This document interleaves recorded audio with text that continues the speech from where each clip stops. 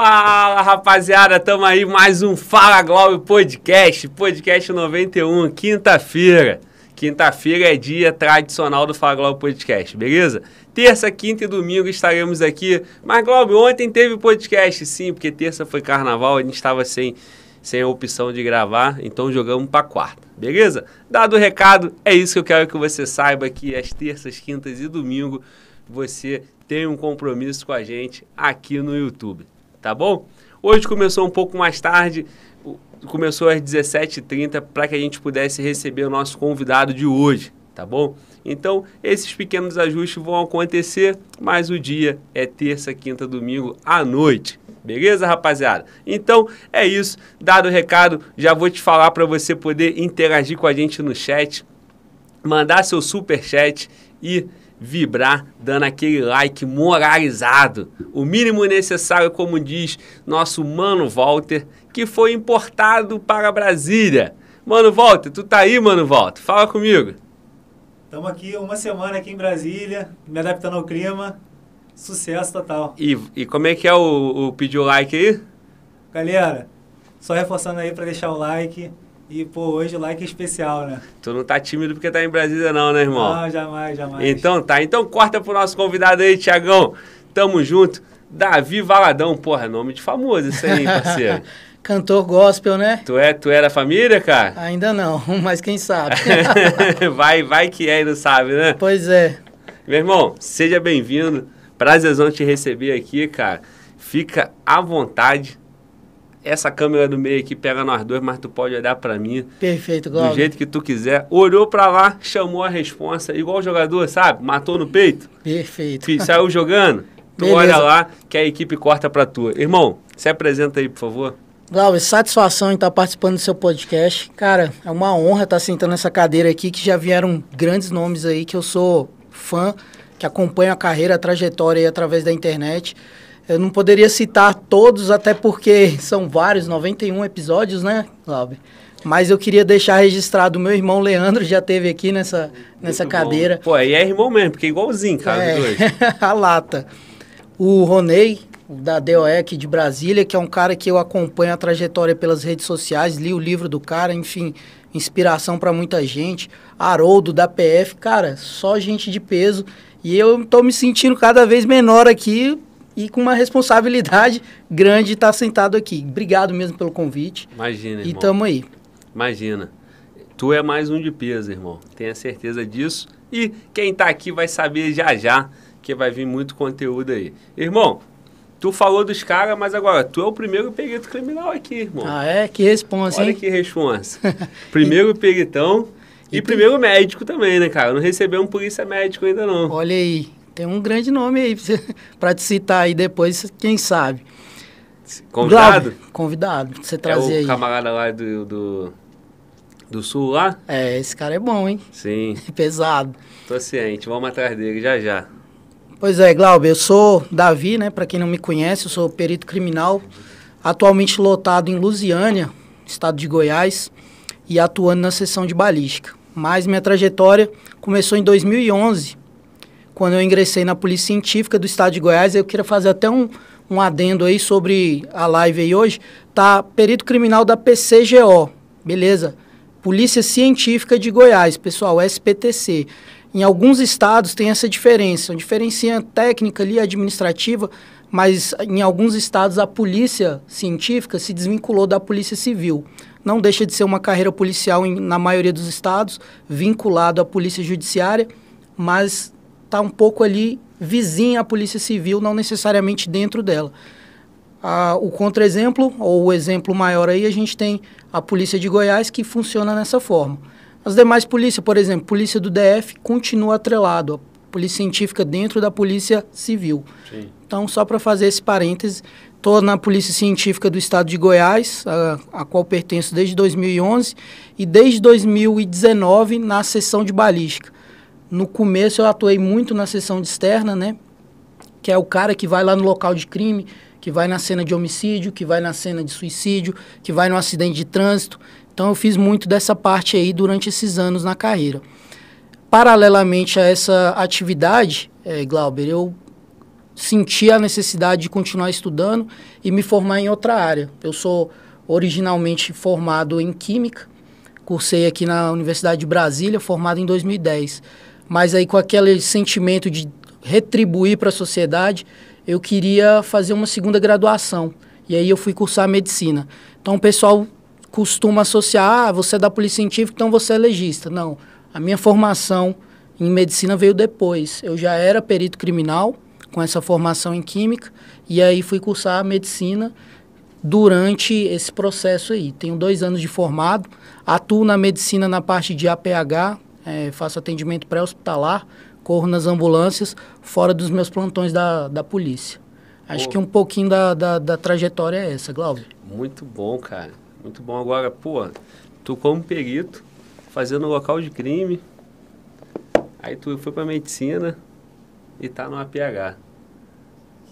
Então tu tá aí totalmente ligado à sobrevivência, né? De um lado, muitas das vezes chegando, infelizmente, depois da, que a vida se foi, né? Já tem um homicídio ali, já tem um acidente, alguma coisa, e tu chega na perícia e, e no APH correndo aí, tu fica no, no Samuzão, é? Exatamente. Muito bom, cara. E, e, e, muita gente me pergunta aqui, cara, Globo, tem que trazer um cara do SAMU, tá vendo? Eu tô assim, então, sem saber, galera cara. fera. Porra, meu irmão, aqui a gente, a gente acerta sem ver, meu irmão. Bom demais. Pois é, Glauber, é, a, a, cena de crime, esse, esse atender os locais de crime, ele mexe muito com o lado psicológico do, do policial, né? Do, principalmente do perito criminal, porque ele, além de observar a cena, ele tem que examinar a cena. E aí é uma diferença gigantesca entre a mera observação e, de fato, se debruçar sobre aquela cena e procurar nos detalhes informações maiores sobre aquele caso. Então, traz essa questão psicológica e no meu interior sempre vinha aquela questão, pô, cheguei muito tarde, não é essa a resposta que eu quero dar. E quando eu vou para uma cena já correndo na ambulância, a resposta é outra, né? São aqueles minutos cruciais que talvez vão fazer a diferença para aquela pessoa que está recebendo atendimento. Eu sei que a resposta policial é uma resposta efetiva, que traz. É, pune o agressor, né? Que vai atrás de dar outro tipo de resposta. Mas para aquela vítima em especial, a resposta foi tarde demais. Sim. Na maioria das vezes, infelizmente. E aí, dentro do SAMU, eu consigo vivenciar esse outro lado, sabe? de chegar ali no momento que eu posso ajudar a pessoa que está ali e não a sociedade. Não abrindo, é, obviamente, a atribuição de estar tá ajudando socialmente, mas aquela pessoa em especial, ela está recebendo o que a gente pode dar de melhor ou não, o que, que a gente tem a oferecer para aquele caso em si. Cara, com toda a experiência que você já tinha na perícia e por SAMU, e também com toda a formação na medicina, né? Que acaba que eu já é muito o seu dia a dia, né? Durante uhum. os 5, 6, 7 anos de formação ali, você já vai passando por essas situações, né? De socorrer, de, de, de cuidar, né? De Sim. cuidar da pessoa, do doente ali. Foi muito mais tranquilo pela experiência como perito ou ainda assim te causou impacto de estar no SAMU chegando ali naqueles minutos necessários para socorrer aquela aquela pessoa, aquela vítima ali? Então, no atendimento pré-hospitalar entra exatamente essa questão que você bem colocou. Lidar com uma situação, por exemplo, de um acidente, uh, às vezes um paciente gritando, um membro é, dilacerado, isso pode causar arrepio, pode trazer uma sensação negativa e até uma sensação de, de impotência por parte de quem está socorrendo ali. Essa frieza, essa vivência, ela vem tanto da faculdade, é, quanto das experiências de lidar com o corpo, com o cadáver, etc. Mas é, eu, eu, eu não atribuo a, a, a, tranquilidade de lidar com esse fato tanto à função do perito, mas à função da formação da faculdade. A faculdade que eu fiz foi aqui em Brasília, a Escola Superior de Ciências da Saúde, e nela a gente é inserido desde cedo a atender. Então você desde o primeiro ano você lida com o paciente, obviamente que não numa situação de emergência, mas no decorrer do curso você vai se adaptando e chegando mais próximo dessas situações de emergência.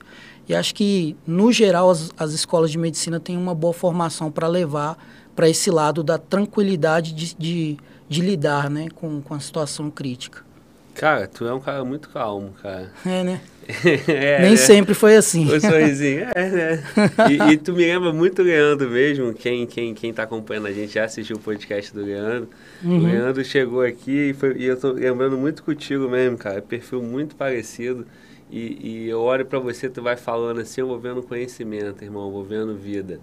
E, e com essas três experiências que tu colocou, é, até diria quatro, porque tu falou da balística também, e eu logo ia te fazer uma pergunta. E aí, cara, é bala ou é projétil ou é projetil? Porque isso aí é. Todo mundo fala sobre isso, né? Tu tá na balística. Tá errado falar bala? Então, aí, é, se você for pelo, pela etiologia das palavras, é, o termo bala ele não é errado. Tanto é que balística vem desse termo, né? Sim tudo que, que a gente arremessa quando a gente está estudando em balística, a gente vem do grego. Se eu estiver errando aí, o pessoal corrige no chat. É, vem do grego, que é lançar objeto, o estudo de lançamentos. Então, os historiadores vão falar: não, não é errado chamar de bala, porque vem desse termo balos. Tá? Mas, tecnicamente, é, na descrição, digamos assim, mais acadêmica, a gente chama de projétil. Então, se você for para o lado científico, você não vai ver descrição em artigos chamando de bala. É, vai ver descrevendo como projétil. Então, nesse meio acadêmico, talvez eles considerem como um erro chamar de bala. Então, mas leigamente não tem problema nenhum, é bala, é projétil. Só não pode confundir com a bala de, de mascar, né? Mas no resto está tudo certo. Não, é porque eu já vi muito colega instrutor de tiro, que é o seu caso também, uhum. é, falando, pessoal, tá certo o termo bala e, e às vezes também o, o camarada fala e o pessoal martela, né? É. Porra, o cara não sabe nem falar o, o que, que é o projétil, é projétil, né? Bala. É, e tem aquela questão do pente, né? Do pente da pistola, é, que o pessoal também fala, ah, é um erro falar pente, é um erro falar bala, e faz até aqueles memes colocando um pente de cabelo com balas, balinhas de, de mascar. Só que existe um carregador que ele tem esse nome porque as munições são enfileiradas como se fosse um pente mesmo de cabelo. E daí cunhou-se esse nome pente também. Então, se você for procurar na origem da, das palavras, vocês vão ver um monte de similaridades dessas que justificam o uso do leigo desses termos. Mas, ah, tecnicamente, a gente dá os nomes classificados certinho. Então, carregador, projétil e por aí vai levando para o português seria o uso coloquial. Pronto. É, é isso? isso mesmo. Existe o uso culto e o uso é, coloquial. Por aí. Agora, o, o mundo do, do, armamento e tiro tem várias curiosidades também, né? Como você colocou o pente, né? Falamos uhum. da bala. E aí vai tendo várias outras coisas que vão causando essas controvérsias, né? Sim, stop power, o double tap, os, o que a gente acreditava que funcionava no passado, a gente vai desmistificando e descobrindo hoje em dia que não é tão assim, né? Como é que se incapacita um corpo? Ah, tem que dar dois disparos rápidos no mesmo ponto para que as cavidades temporárias se somem e cause maior lesão no órgão. E aí todos os mitos que a gente acreditava, a gente vai desconstruindo e vendo que a ciência mostra que não é bem assim. Você quer que aprofunde em algum desses aí? Por não? favor, irmão. Fique à vontade. Tá. É, a gente tem essa questão do stopping power, né, que é o poder de parada das munições, e aí a gente compara os calibres. E, e aí, por exemplo, ah, por que, que no passado um confronto do FBI, tantos disparos de 9mm não foram suficientes para cessar aquela agressão? Ah, então vamos criar um calibre mais forte. Um calibre que tenha poder de parada. Um calibre que, quando acerta o agressor, ele vai cair ali instantaneamente. E aí esses mitos foram gerados é, desenvolvendo projetos e, obviamente, a indústria se favorece disso para vender projetos, para vender calibre, para promover munições, né? Só que a gente percebe que, a, que essas munições e esses calibres utilizados em, em experimento ou em dados estatísticos, você percebe que não são suficientes para para de fato gerar o que eles chamam de poder de parada, um tiro, uma queda. Ah, tem até um, um perito criminal muito famoso aí na área da instrução, João Bosco, que ele tem um curso bem bacana relacionado a isso. Aí ele, ele mostra nesse curso qual é o impacto que um disparo causa no corpo. Ele faz um boneco ali de madeira, com brita dentro, com um pezinho igual um pé de ser humano mesmo, aqui, para ficar no equilíbrio do pé. Aí você chega lá, atira de 9 milímetros, atira de ponto .40, atira de 38, atira com tudo. Bate no boneco de madeira e só faz isso. Que já viu nos filmes quando uma pessoa recebe um disparo? Pô, ela voa. É o poder de impacto ali Sim. que, na verdade, não existe daquela forma que a, que a televisão narra, né? Então, esse poder de parada, ele não existe. Ele foi substituído e hoje em dia o que a gente fala sobre incapacitação é outra história e daria um tema aí para outros podcasts. Muito bom, muito bom, irmão. E aí, cara, entrando já no, nesse universo da perícia, é, tu chegou numa cena de crime. Qual é o tipo de, de violência mais difícil ali para você lidar? Disparo é, é, muito simples, né? Eu imagino. Uhum. Talvez, né? Eu já estou respondendo por você, que é um erro, né, da minha parte, mas acontece. Porque tu vê, porra, disparo, ó, homicídio. Perfeito. Com disparo de arma de fogo. Uhum. Como é que é isso aí ali no, no Cláudio, trabalho vamos... como perito criminal? Então, vou dividir sua pergunta. Dificuldade numa cena. É, existe a dificuldade técnica, né? E a dificuldade psicológica. Eu vou responder nesses dois, nesses dois termos, então. É, a perícia criminal ela vai investigar um tipo de morte classificado como morte violenta. Né? A morte natural é aquela decorrente da idade, de doença. Então, a gente não se preocupa com, com esse tipo de atendimento. A morte violenta é aquela não natural. É, acidente, homicídio, suicídio, a gente vai se preocupar com essas mortes. Qual é mais difícil, então, Glauber? É, vamos botar do ponto de vista técnico e, obviamente, a minha opinião e a minha vivência nessa área. A complexidade para mim, a, a, o local mais complexo de, de examinar, de avaliar, é o acidente de trânsito. Por quê? Porque o acidente de trânsito ele é complexo em todas as suas etapas. Então vamos lá. Quando ele é acionado pela Polícia Civil, pela Polícia Rodoviária, já demanda uma velocidade maior. Por quê? Porque está parado uma rodovia, uma BR, está um trânsito quilométrico. Aí eles pedem a perícia, ó, corre que é para ontem. Beleza. Você chega na cena, tá uma população imensa em volta, a curiosidade, um corpo, uma vida, etc. A equipe que está no local, olha, a gente tem que liberar essa via, tem como acelerar. Então já te cobra uma velocidade acima do normal do, das outras ocorrências. Que você teria mais tempo para examinar, mais cautela para avaliar os vestígios. No acidente de trânsito, você é mais pressionado. Obviamente que você tem toda a autonomia para dizer, ó, oh, eu preciso de mais tempo para avaliar, mas você é mais pressionado. Então já começa aí a complexidade. Outro ponto, no acidente de trânsito, geralmente as lesões são mais é, não são mais fáceis, não são fáceis de lidar. Então uma, avulsão de membro, um, um esmagamento de membro, então são lesões mais chocantes, mais impactantes, né? Então ali já, já tem essa outra complexidade. E um outro fator é que, tecnicamente, também é um laudo mais complicado. Ele demanda de uma expertise maior na área de exatas.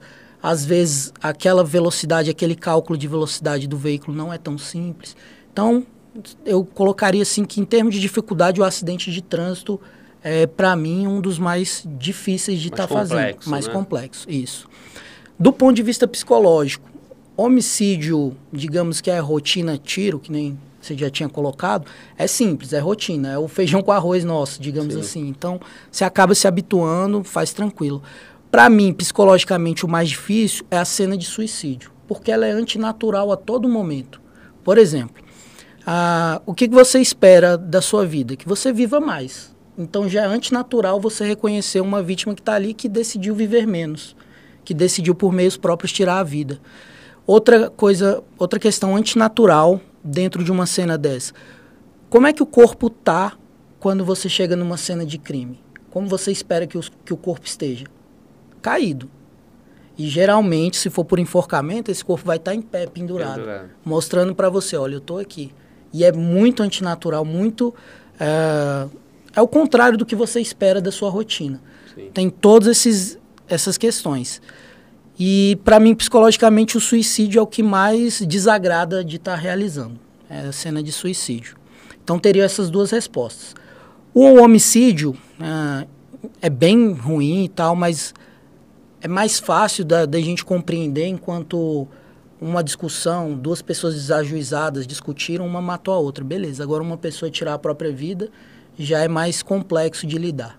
Seria, acho que, nesse, na minha visão, esses dois pontos. Entendi, irmão. Muito bom.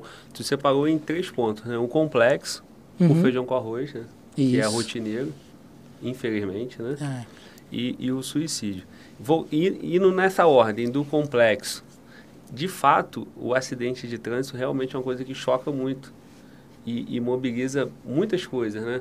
A gente vê, tem um acidente na pista da direita, a pista da esquerda para porque as pessoas ficam chocadas, são curiosas e, e tem aquelas cenas é, impactantes, uhum. né? Tem impacto, tem curiosidade, e aí chega o perito lá e tem que liberar a via.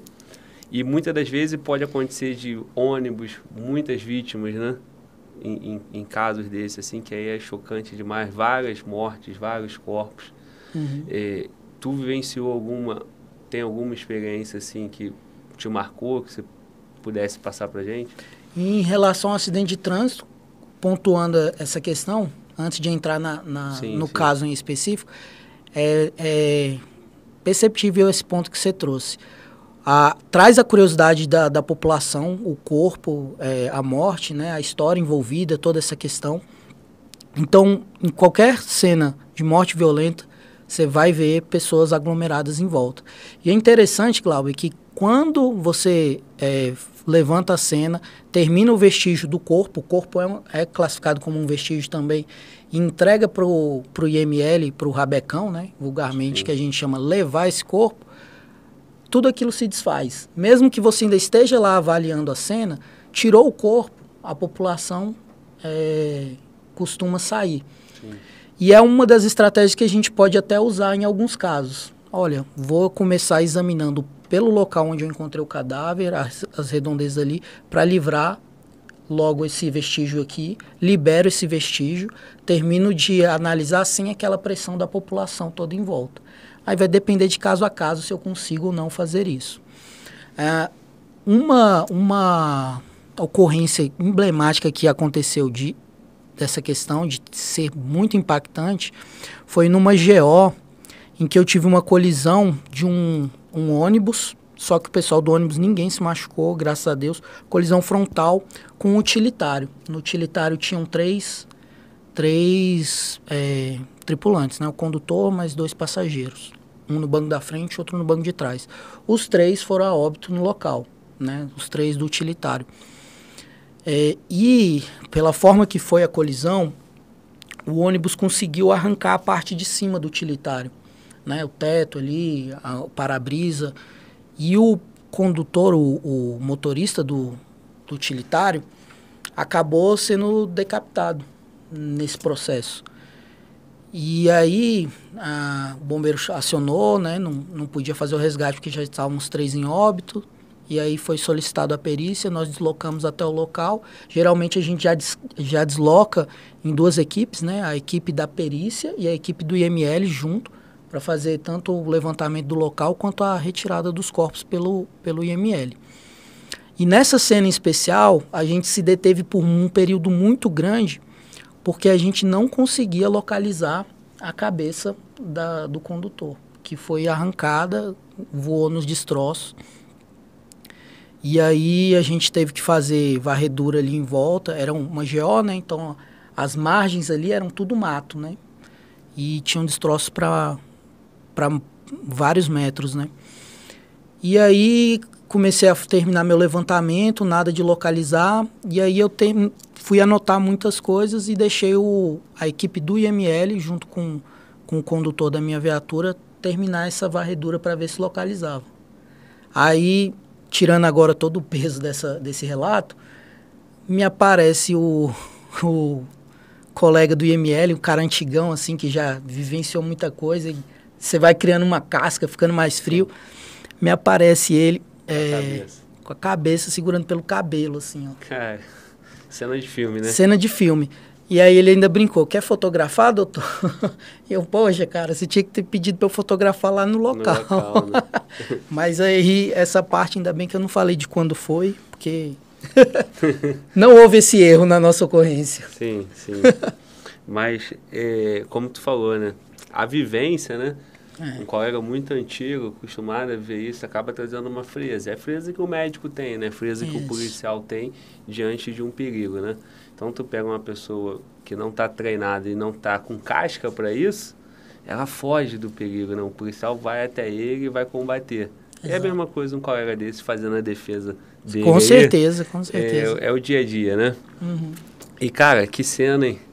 É, essa foi uma das mais impactantes, assim. E, e para laudar isso, cara, aí assim, nós tivemos participação de colegas aqui, sempre do ML, né? Certo. Então, aí esse colega, o relato dele seria esses três corpos indo para o ML, fazendo a necrópsia e tal. Uhum. E o trabalho do perito criminal?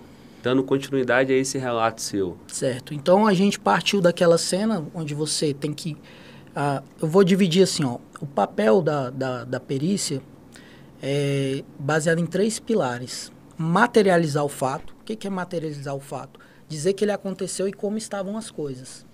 A partir do momento que o perito materializa o fato, é, é, que o judiciário pode ter certeza que aquilo aconteceu e de que forma foram encontrados os vestígios.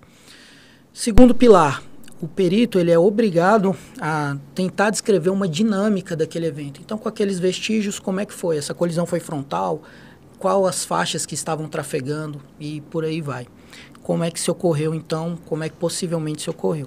E por fim, é, tentar encontrar indícios de autoria. Com esses vestígios, será que eu consigo dizer quem deu causa a esse acidente? Então seria essa amarração. Tudo isso que a gente fez, então a gente foi lá, fotografou, mediu é, cada vestígio, qual a relação entre esses vestígios. A gente, com base neles, descreve uma dinâmica de forma técnica, né? É, e baseada nos vestígios e não nos relatos. A gente até pega uma ajuda dos relatos em alguns casos, mas a gente descreve a dinâmica a partir dos vestígios.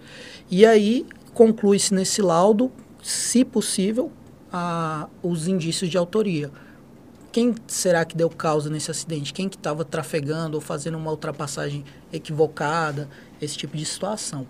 Então, terminando esse processo, Tecnicamente, a gente poderia seguir com a equipe do IML para acompanhar a necrópsia.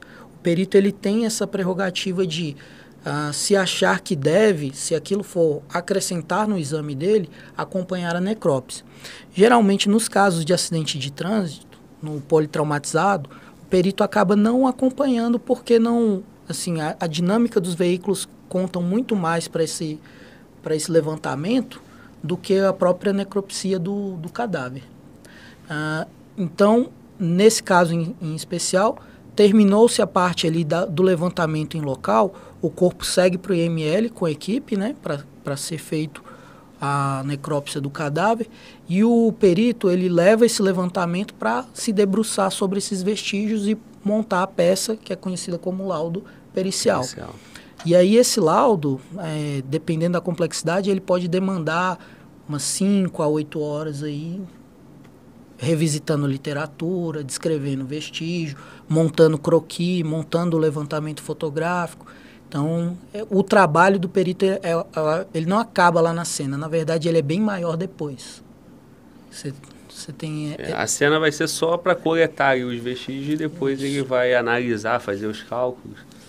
Agora, acidente de trânsito é mais difícil chegar em quem deu causa?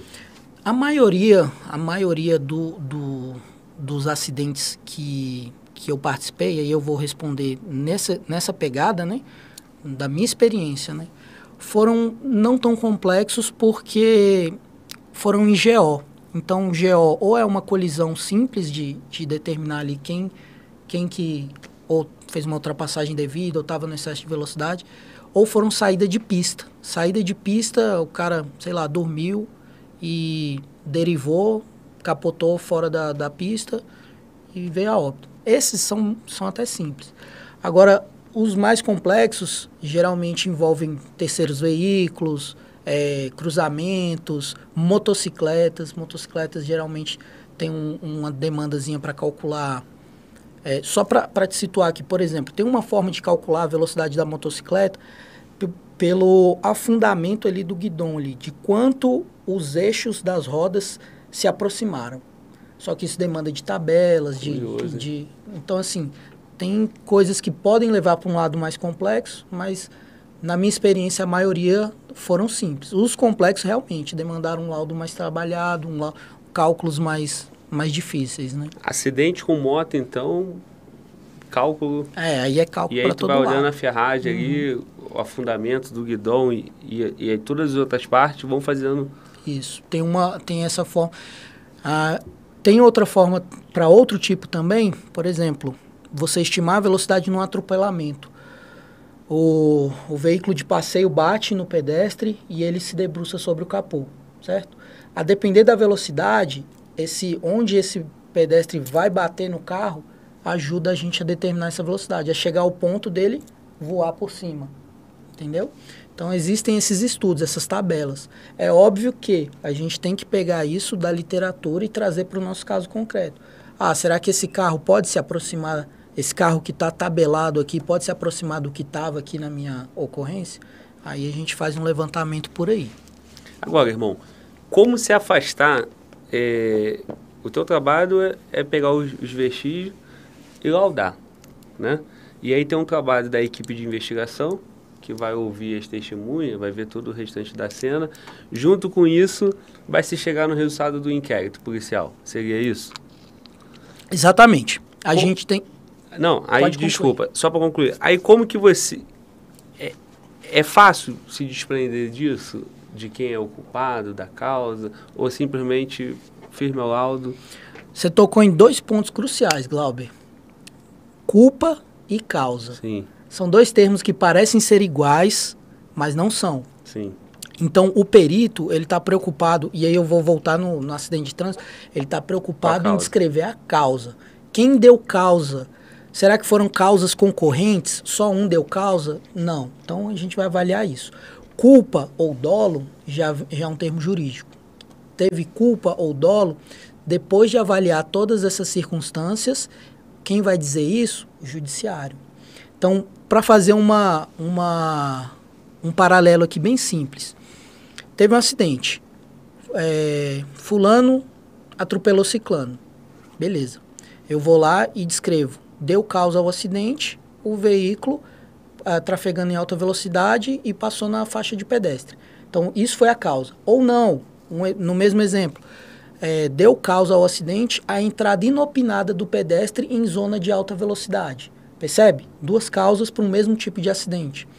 Mas eu não vou descrever no meu laudo deu culpa, teve culpa ou agiu com dolo o motorista que acelerou para cima do pedestre. Por quê? Porque entra outros tipos de prova.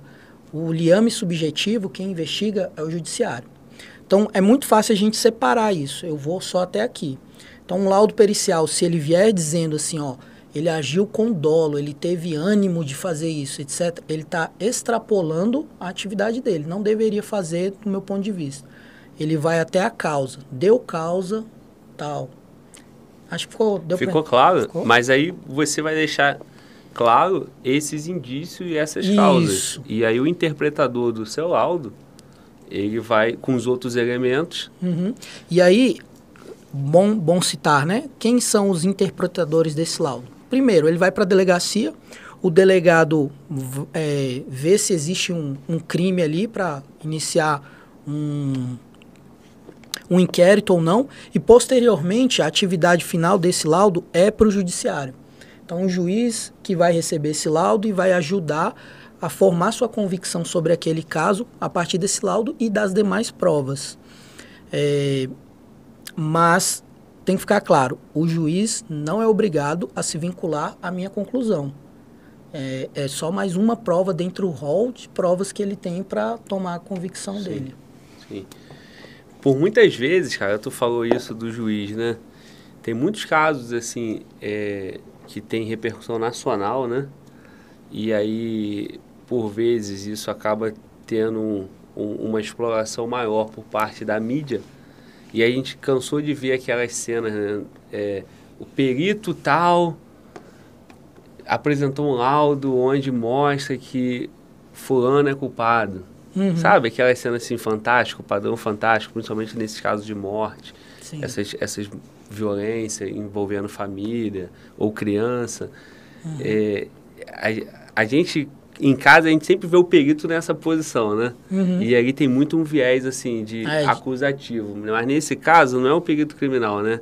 É o perito da parte, né? Como Isso, aquele o assistente o técnico. assistente técnico. Exatamente. Que tem essa diferença também. Né? O assistente técnico ele tem um compromisso diferente do perito criminal. O assistente técnico, por exemplo, ele tem que defender a parte com argumentos eh, científicos. Ele não pode usar de conhecimento popular, digamos assim. Ele tem que se basear na ciência, assim como a perícia. No entanto, para ele não é errado ele mostrar a parte da ciência que favorece ele. Entende a diferença? Eu, enquanto perito, eu tenho que falar tudo que a ciência me diz sobre esse caso. Agora, a parte, ele vai, é, o assistente técnico vai se favorecer daqueles pontos que deixam o juiz em dúvida em relação ao caso. Então, ele não tem o compromisso de, de trazer todos os pontos, inclusive os que são contrários a, ao cliente dele. Sim, ele, ele, de fato vai estar aí produzindo uma prova científica para defesa Isso. ou acusação, a depender Isso. de qual lado ele vai estar na, no processo ali criminal, né? Exatamente. É, irmão, tu citou GO e o pessoal do chat está perguntando, está se referindo à, à rodovia. Isso, Quando tu falou isso, GO, isso. é porque não é uma BR, Exatamente. é uma GO é uma rodovia Goiás, estadual. do Goiás. De Goiás, é. De Goiás, não é do é Goiás. Uma, uma né? gíria nossa. É, exatamente. Candango, né? Do Goiás, de Goiás. É, é. Então, o pessoal aqui no chat perguntou, tá explicado, rapaziada. GO, porque é uma rodovia estadual. E nesse caso, e se for BR, cara, entra vocês também? Sim, É sim. atribuição de vocês. A- é atribuição nossa da parte da BR que que Tá dentro do estado. está dentro do, do seu estado, do seu território. A diferença do atendimento de uma GO para uma BR é, é a primeira equipe que vai chegar lá. Antes da perícia chegar, existe uma equipe policial que vai isolar o local. Geralmente na GO é a polícia militar, é, na rodovia GO, né? E na BR, geralmente é a Polícia Rodoviária Federal. Então é, é a maior diferença, sim, do atendimento entre uma e outra. E óbvio, na, nas BRs o, o fluxo é maior, né? Então o congestionamento, todo, todo o estresse gerado ali é maior. E a tendência é que, que se tenha esse, esse aglomeração de curiosos e tal, na, na BR é mais frequente. Irmão, aí entrando naquele ponto ali do homicídio, né, cara? Do, do homicidiado ali por, por arma de fogo. Uhum. É, eu, você falou que é o feijão com arroz, né? Que, Sim. que acontece ro- rotineiramente. Eu lembro que uma certa vez conversando com um colega perito lá no Rio, ele falou assim, cara, onde esse cara foi se meter, cara? Tipo assim, ele viu uma cena, e aí não, não aprofundou, mas ele falou, pô, peguei um caso, cara, que e ficou isso no ar, né? E Tá no ar comigo até hoje, eu tô levantando contigo.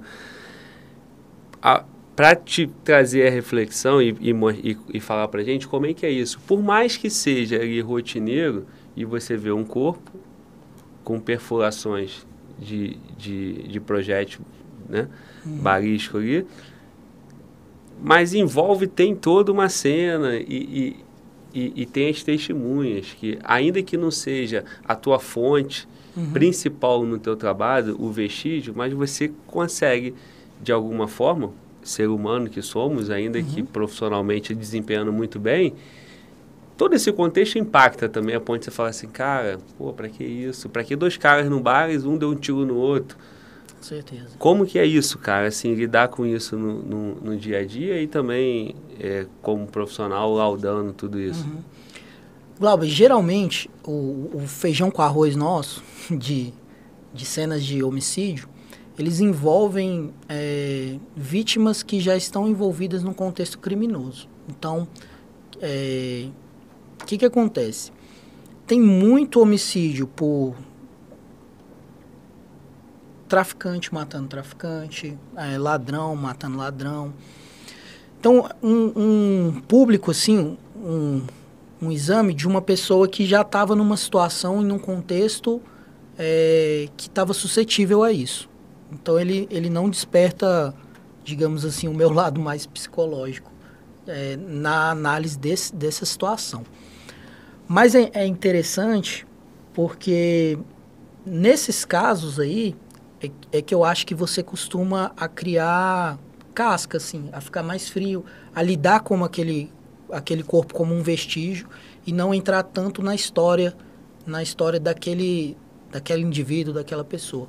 Porque querendo ou não, você ali, enquanto perito, analisando aquela cena, é, tem, tem alguns que gostam de citar que você é a pessoa que vai ouvir as últimas informações que aquele indivíduo tinha para dar, que é a cena de crime dele.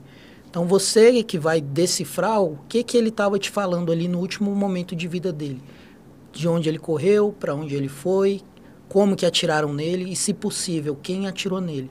Como é que eu posso dizer quem atirou nele? Poxa, se eu coleto esse projétil desse, dessa cena, ou no corpo, ou na própria cena, transfixou, bateu numa parede, eu fui lá extrair esse projétil da parede.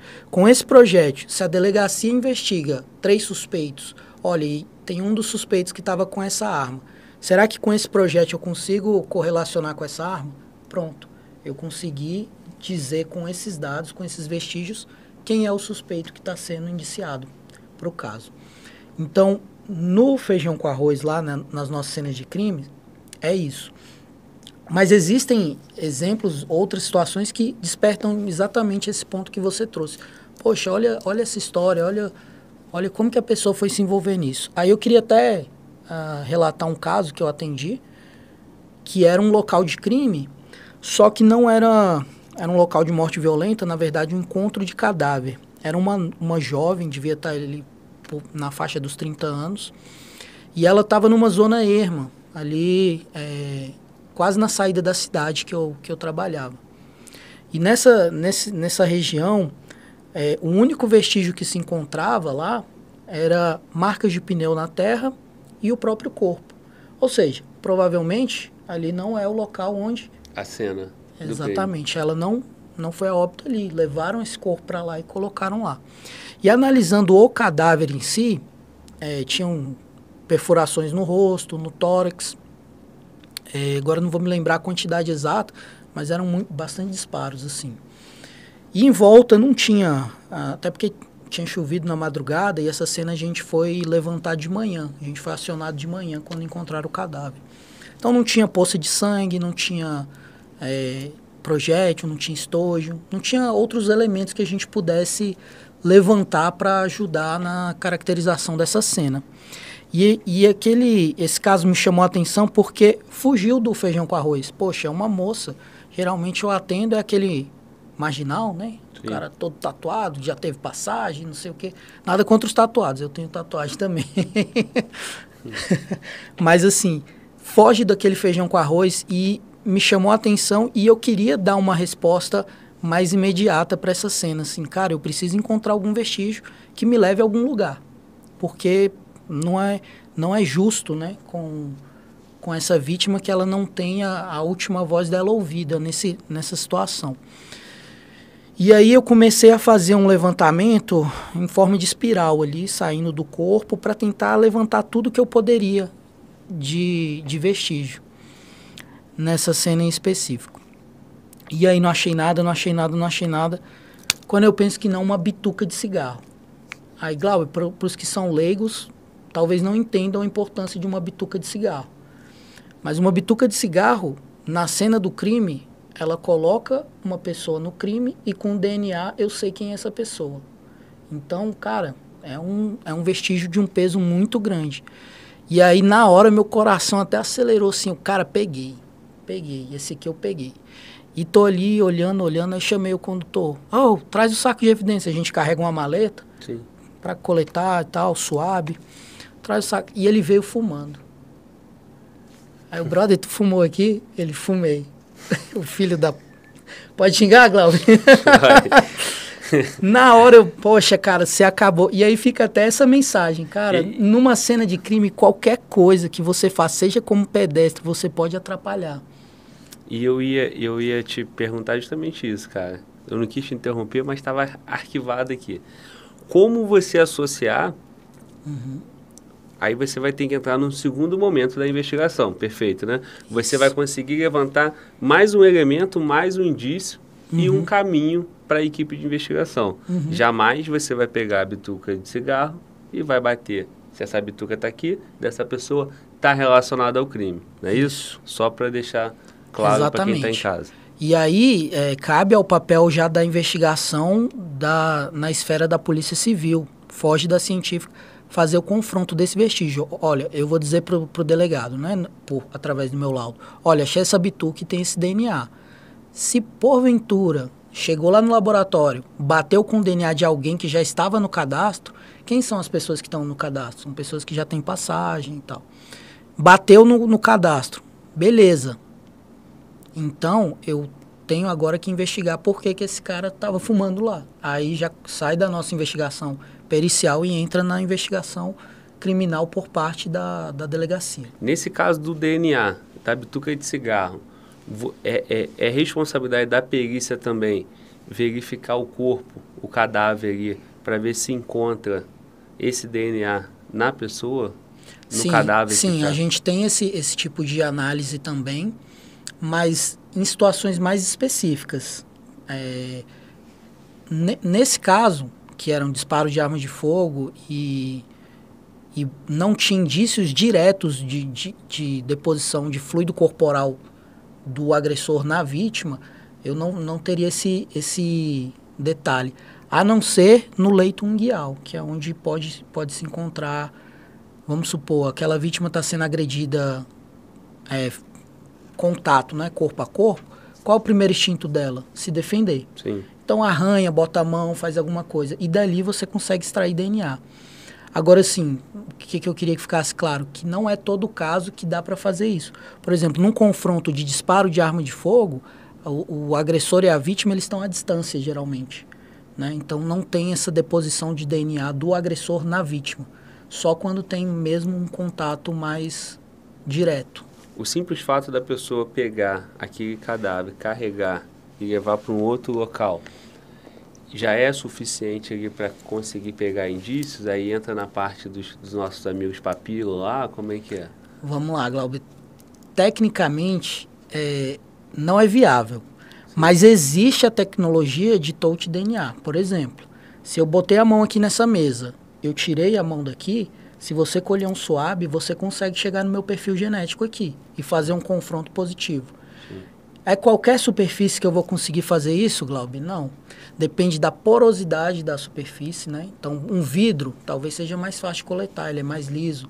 Agora, uma madeira mais rústica, que não tem um trabalho, um acabamento, esse DNA vai entrar na, nas porosidades e aí é mais difícil de fazer a coleta. O corpo humano, ele deposita DNA do agressor? Deposita. Pode ser, seja por suor, seja por Aí vamos colocar nos outros casos, né, nos crimes sexuais, por sêmen, por saliva. Então, dá para se tirar. Mas perceba que não é nesse tipo de ocorrência.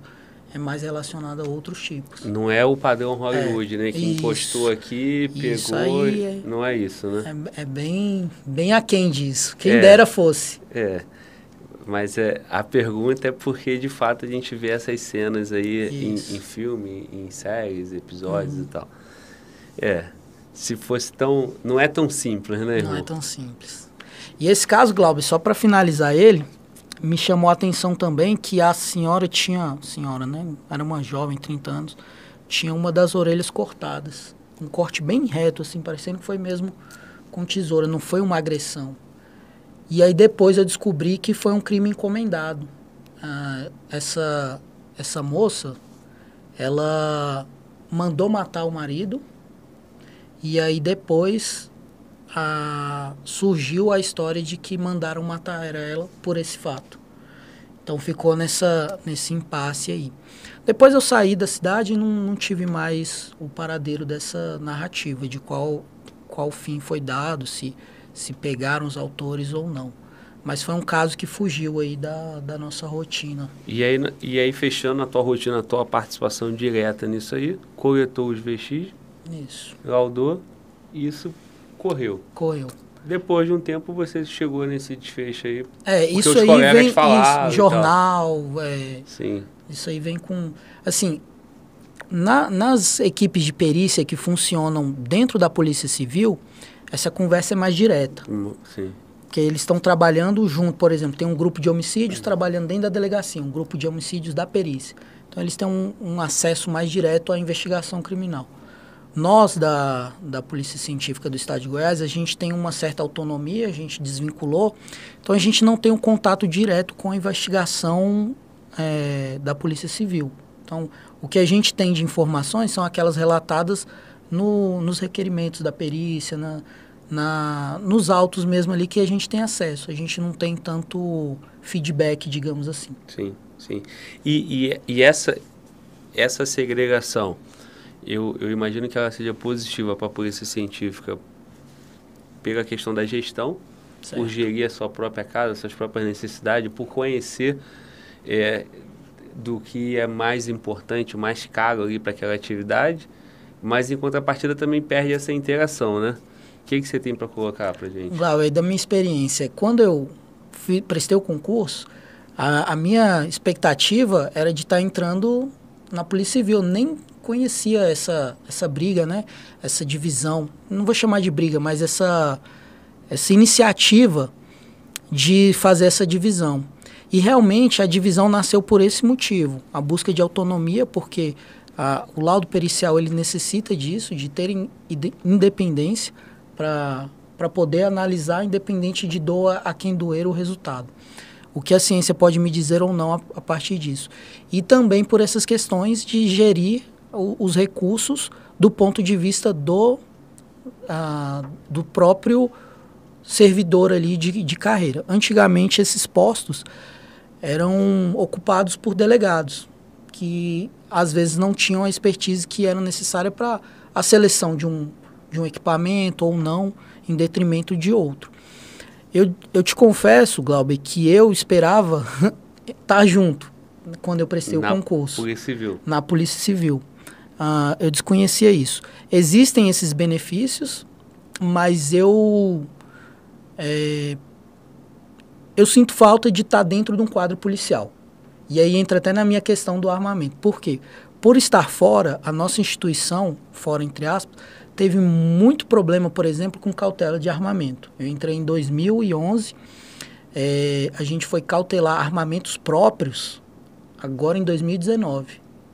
Então eu fiquei 2011 até 2019 com uma funcional sem cautela de um armamento próprio. Eu tinha a arma que eu comprei para uso próprio e ela eu poderia usar. Então tem essas dificuldades, mas também tem os benefícios, que é Sim. justamente esse que que já tinha pontuado. Sim, sim. E aí, irmão, tu citou também os casos de do que é mais impactante psicologicamente, que são os suicídios, né? Uhum. É, Todo colega que participa de uma cena dessa relata isso como mais impactante. Seja colega da necrópsia, seja colega, é, o policial militar que chegou ali no, no- na cena, que, rece- que foi o primeiro, o primeiro a chegar, seja o colega da perícia. E de fato é porque investe essa ordem natural das coisas, né? Que você colocou. É, o que, que te impacta mais nisso aí, cara? Qualquer cena tem uma que você fala assim, porra. Glauber, a gente vê muito. Eu, como fiz medicina, eu tive a oportunidade de, de estudar a questões relacionadas à, à doença mental, à psiquiatria. E muitas coisas que a gente vê em trabalho científico é, não, não parecem tão pesados. E aí, quando você vai para a experiência real, você vê que de fato é mais do que você imaginava. Tem um caso bem engraçado, engraçado não é, não é bem a palavra, né? Mas tem um caso que me marcou em relação a suicídio. Curioso. Eu sempre li na, na literatura, suicídio pode induzir suicídio. Então, assim, por que, que não se divulga? Por que, que não tem reportagem falando, olha, a pessoa se matou pulando do shopping? Porque esse tipo de informação induz outras pessoas que já têm tendências ou estão passando por uma situação difícil a também cometerem suicídio. Sim. Então, isso é um tema bem, é, bem delicado de se trabalhar. E aí, numa certa situação, a gente foi acionado de manhã cedo. Parece que os casos emblemáticos são todos de manhã, né? De manhã cedo, um jovem se matou enforcado na garagem de casa. O padrasto e a mãe referiam que saíram para comprar pão e o padrasto ainda falou assim, ó, fulano tá urinando no jardim ali, porque ele estava em pé, próximo da, da jardineira. Ali saíram para voltar e quando voltaram ele estava na mesma posição. Aí que eles se atentaram ao fato de que ele estava pendurado na, no teto da garagem, que ele estava amarrado pelo pescoço. O que, que, que, que, que é, fazendo só um adendo, o que, que é comum no enforcado? O laço que ele foi amarrado vai cedendo, até o ponto que os pés dele tocam no chão.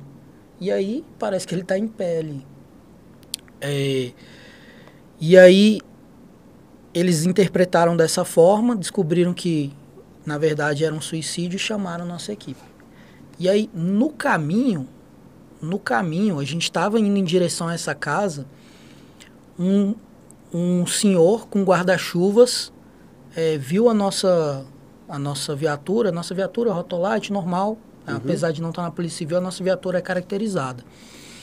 E aí é, ele parou a gente, vocês estão vindo socorrer a minha filha? Aí eu, não, a gente não é do socorro, não, a gente é da, da polícia científica e tal, não sei o quê. É porque minha filha acabou de cortar os pulsos. Lauber era a namorada do menino. Do, do menino que a gente estava indo atender, tinha acabado de se suicidar, ela cortou os pulsos também. Só que ela, graças a Deus, foi socorrida e, e ficou bem. Mas, assim, é, é muito impactante, assim, é, as cenas de suicídio, elas são... trazem um peso bem, bem maior. Porque é uma morte teoricamente evitável, né? É uma morte que, que você sente falta de todos os pontos. A família não apoiou, um serviço de saúde adequado não apoiou, faltou de vários pontos até que chegasse num, num ponto em que o, uma pessoa decidiu por não viver mais. É, é mais ou menos por aí. E nesse caso foi meio que um combinado, né? Exato. Dos dois. Exato. Não, foi desavença. O relato que a gente tem é que era um término e tal, briga, e aí o, o rapaz acabou se enforcando. E a menina já tinha ciência disso? O Sim, peso disso fez com disso, que ela fizesse? Exatamente. Ah, entendi, cara. E aí no caminho a gente deparou com as duas informações. Próximo é, do local? Próximo. E aí vocês conseguiram fazer esse socorro? Não, a, o SAMU que atendeu. Já estava próximo. É. Vocês não, nem poderiam não. fazer, né? Na época, eu ainda não tinha formado, mas eu eu sempre parava, Glauber. Tava no caminho assim, ó, é, andando na rua, na minha folga. Caiu moto, eu parava para ajudar. Antes mesmo de, de terminar Sim. a medicina. Tipo, eu já sabia que era aquilo que eu queria fazer. Era atendimento pré-hospitalar. Mas nesse caso a gente deixou a seguir o rito que é a ambulância do SAMU, que foi para atendimento lá. E até porque você tinha uma é, missão que era chegar isso. na outra cena, né? Exato. É, cara, é, você fez na tua introdução da tua fala, você falou sobre esse negócio de não falar sobre, né? Uhum. E de fato isso tem, e como você bem colocou, tem estudos sobre isso, né? Uhum. Mas em contrapartida a gente também não fala de muitas outras coisas que também causam esse mesmo estímulo. É, violência doméstica e várias outras coisas. O que que, ao seu ver, eu já estou de fato na questão da opinião mesmo, uhum. é, é mais importante falar para prevenir ou não falar? Realmente o não falar é, tá, pesa acho, mais do que a prevenção, do que o acho, alerta? É, pois é, eu acho que a minha colocação ela, ela ficou meio, meio dúbia mesmo. É, o não falar é, é não divulgar casos. Sim. Não é que a gente não tenha que abordar esse assunto, pelo contrário. Tem, tem, tem que se abordar. Inclusive, a gente tem o. Ah, se eu errar agora, eu vou ficar até com vergonha. É setembro amarelo, né? Setembro amarelo, que é o mês em que a gente reforça esse. É esse tipo de discussão. É, mas nesse momento a equipe já está aí pesquisando, mas eu, eu, aí, eu, eu tô aí. contigo, vamos errar junto vamos nessa. Vamos errar junto então. Porque é setembro sim. É, é. Setembro amarelo, outubro rosa e novembro azul. É isso. Não é isso? Você passou por qual, Glauber? por quê? o outubro rosa, o como é que é? Novembro azul? Novembro azul, é dos não, homens. Não é dos homens? É. Você passou por esse? Ainda não. Ainda não? Mas vou Tá passar em breve, né? Fazer o quê? a minha barba branca me deixa próximo. A minha tá do mesmo jeito. É, tamo junto, irmão. Faz parte. É, uma hora chega, né, A Glauco? gente vai lá, né? Um pouquinho envergonhado, mas vai, né? o negócio é tá vivo, irmão. Não é não? Tá certo. Esperando que a medicina evolua, né, cara? Eu tô contando com vocês aí. Tá evoluindo. É, irmão. E. E. Cara, se tu for falar assim, cara, o meu trabalho, eu sou perito criminal. Perito criminal. Então, acontece um crime e eu participo. É muito simples? Não, né? É mais ou menos isso. Você vai em cenas Sim, de. aí tem que fazer um adendo bem importante. Ah, o perito criminal, ele só atua quando requisitado. Então, por exemplo, é, um perito, ele tá no, num local em que houve uma morte. Ele não vai falar assim, olha, eu sou perito, então eu vou fazer... Por exemplo, eu como médico, se eu presencio um acidente, é minha obrigação parar e, e- e- ajudar. Sim. Eu não posso, inclu- inclusive, eu posso responder por não parar e ajudar. Perfeito. É, agora, eu como perito criminal, se eu tô, vamos supor, de plantão, aí eu tô num deslocamento qualquer e passo por um local, olha, um cadáver. Eu tenho que fazer aquela perícia? Aí não. Porque você já está em deslocamento para um outro caso. Porque aquela perícia só passa a ser responsabilidade minha quando a delegacia de competência requisitar ela a perícia. Entendeu? Sim. É óbvio que ninguém vai negligenciar uma ocorrência. Olha, eu vi um corpo, o que, que eu vou fazer? Eu vou comunicar. Sim. Mas, entende? A minha função não é periciar tudo, toda ocorrência que eu vejo. É periciar todas as que me são demandadas. Sim.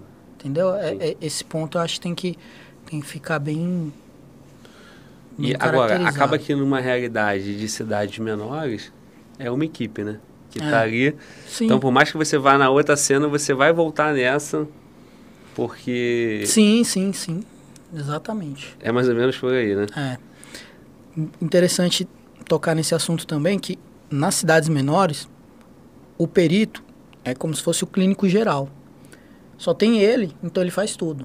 Ele faz acidente, homicídio, suicídio, perícia interna, as que dá para fazer, né? Ele não consegue fazer, por exemplo, um levantamento de banco genético de DNA porque ele não tem laboratório. Mas ele faz a coleta do DNA e envia para o laboratório respectivo. Então, assim, é, nas grandes capitais, eu já consigo, pela quantidade de servidores, separar em grupos. Então, eu tenho um grupo para levantamento de acidente de trânsito, eu tenho um grupo para levantamento de homicídio, eu tenho um grupo para danos, é, crimes patrimoniais. Então, eu consigo transformar o perito num especialista, que é o que deveria ser, né? Na minha opinião. O perito tem a função de, de dar a resposta mais técnica possível referente àquele caso. Então, por que não ele se especializar na, numa área de competência que ele possa se aperfeiçoar mais do que a média que é demandada, entendeu? Então, tem esse jogo aí. Nos interiores, infelizmente, você tem que fazer um pouco de tudo. E quando você faz um pouco de tudo, dificilmente você consegue ah, alcançar um, um aprofundamento tão grande em tudo Sim. né? Aí essa, essa discrepância existe, assim. A gente não tem grupos especializados em todas as cidades, mas a gente tem a, essa função aí que seria o, o faz tudo, né? Sim. Que é o que eu trabalhei boa parte do tempo. Que é o mais comum. né? Isso, que é o mais comum. Porque assim, eu percebo que até nas grandes cidades, capital como Rio de Janeiro, que é Uhum. minha terra lá, eh, tem as divisões de homicídio, Uhum. que antigamente nem tinha também. Então, é uma é bem recente, a especializada, né, na parte de homicídio. E tem a equipe lá de perícia, tem a equipe toda lá. E e lá também é muita ocorrência que é a ponto de não se conseguir fazer essa especialização. O colega no Rio de Janeiro, porque atende várias áreas, também acaba fazendo tudo, porque esse, esse mundo ideal é, de onde se tenha um volume grande de servidores não é muito comum, né? Ah, é. Então Sempre é tá cidade, faltando, né? Cidade pequena, cidade grande, depois que inventaram tá, tá ruim, nunca faltando. ficou bom, né? É que a gente brinca, né? Tava É, bom, mas agora tá ruim. Agora, O que também é bom, né, cara? Porque fica mais completo, né? Uhum. Tem tanto essa necessidade do aprofunda aprofundamento, assim. Uhum. É, que que é, acaba sendo mais rico para o profissional? Se especializar ou acabar pegando tudo, na tua visão? É uma pergunta interessante, viu, Glauber? Eu vou partir de princípios para respondê-las. Sim. e aí vou trazer até da experiência na medicina. Uh, eu vou, vou, responder da medicina, mas tentando trazer essa resposta também para a polícia. Na medicina existe uma corrente atual de intensificar o cuidado na atenção primária. O que, que é atenção primária? É o posto de saúde, é aquele atendimento que está próximo da pessoa, que faz um atendimento continuado. Vou colocar de forma leiga, assim, até leviana. Seria uma clínica geral, atender e prevenir e cuidar da, da pessoa antes do adoecimento mais complexo.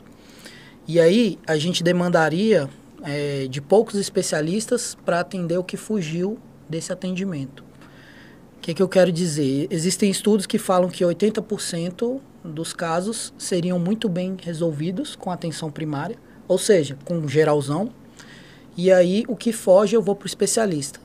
Então, respondendo a pergunta, eu preciso muito mais de generalistas do que de especialistas. Se eu for olhar isso na ótica da perícia, eu concordo.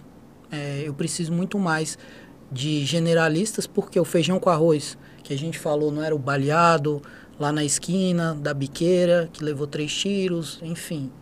Os casos são simples no geral.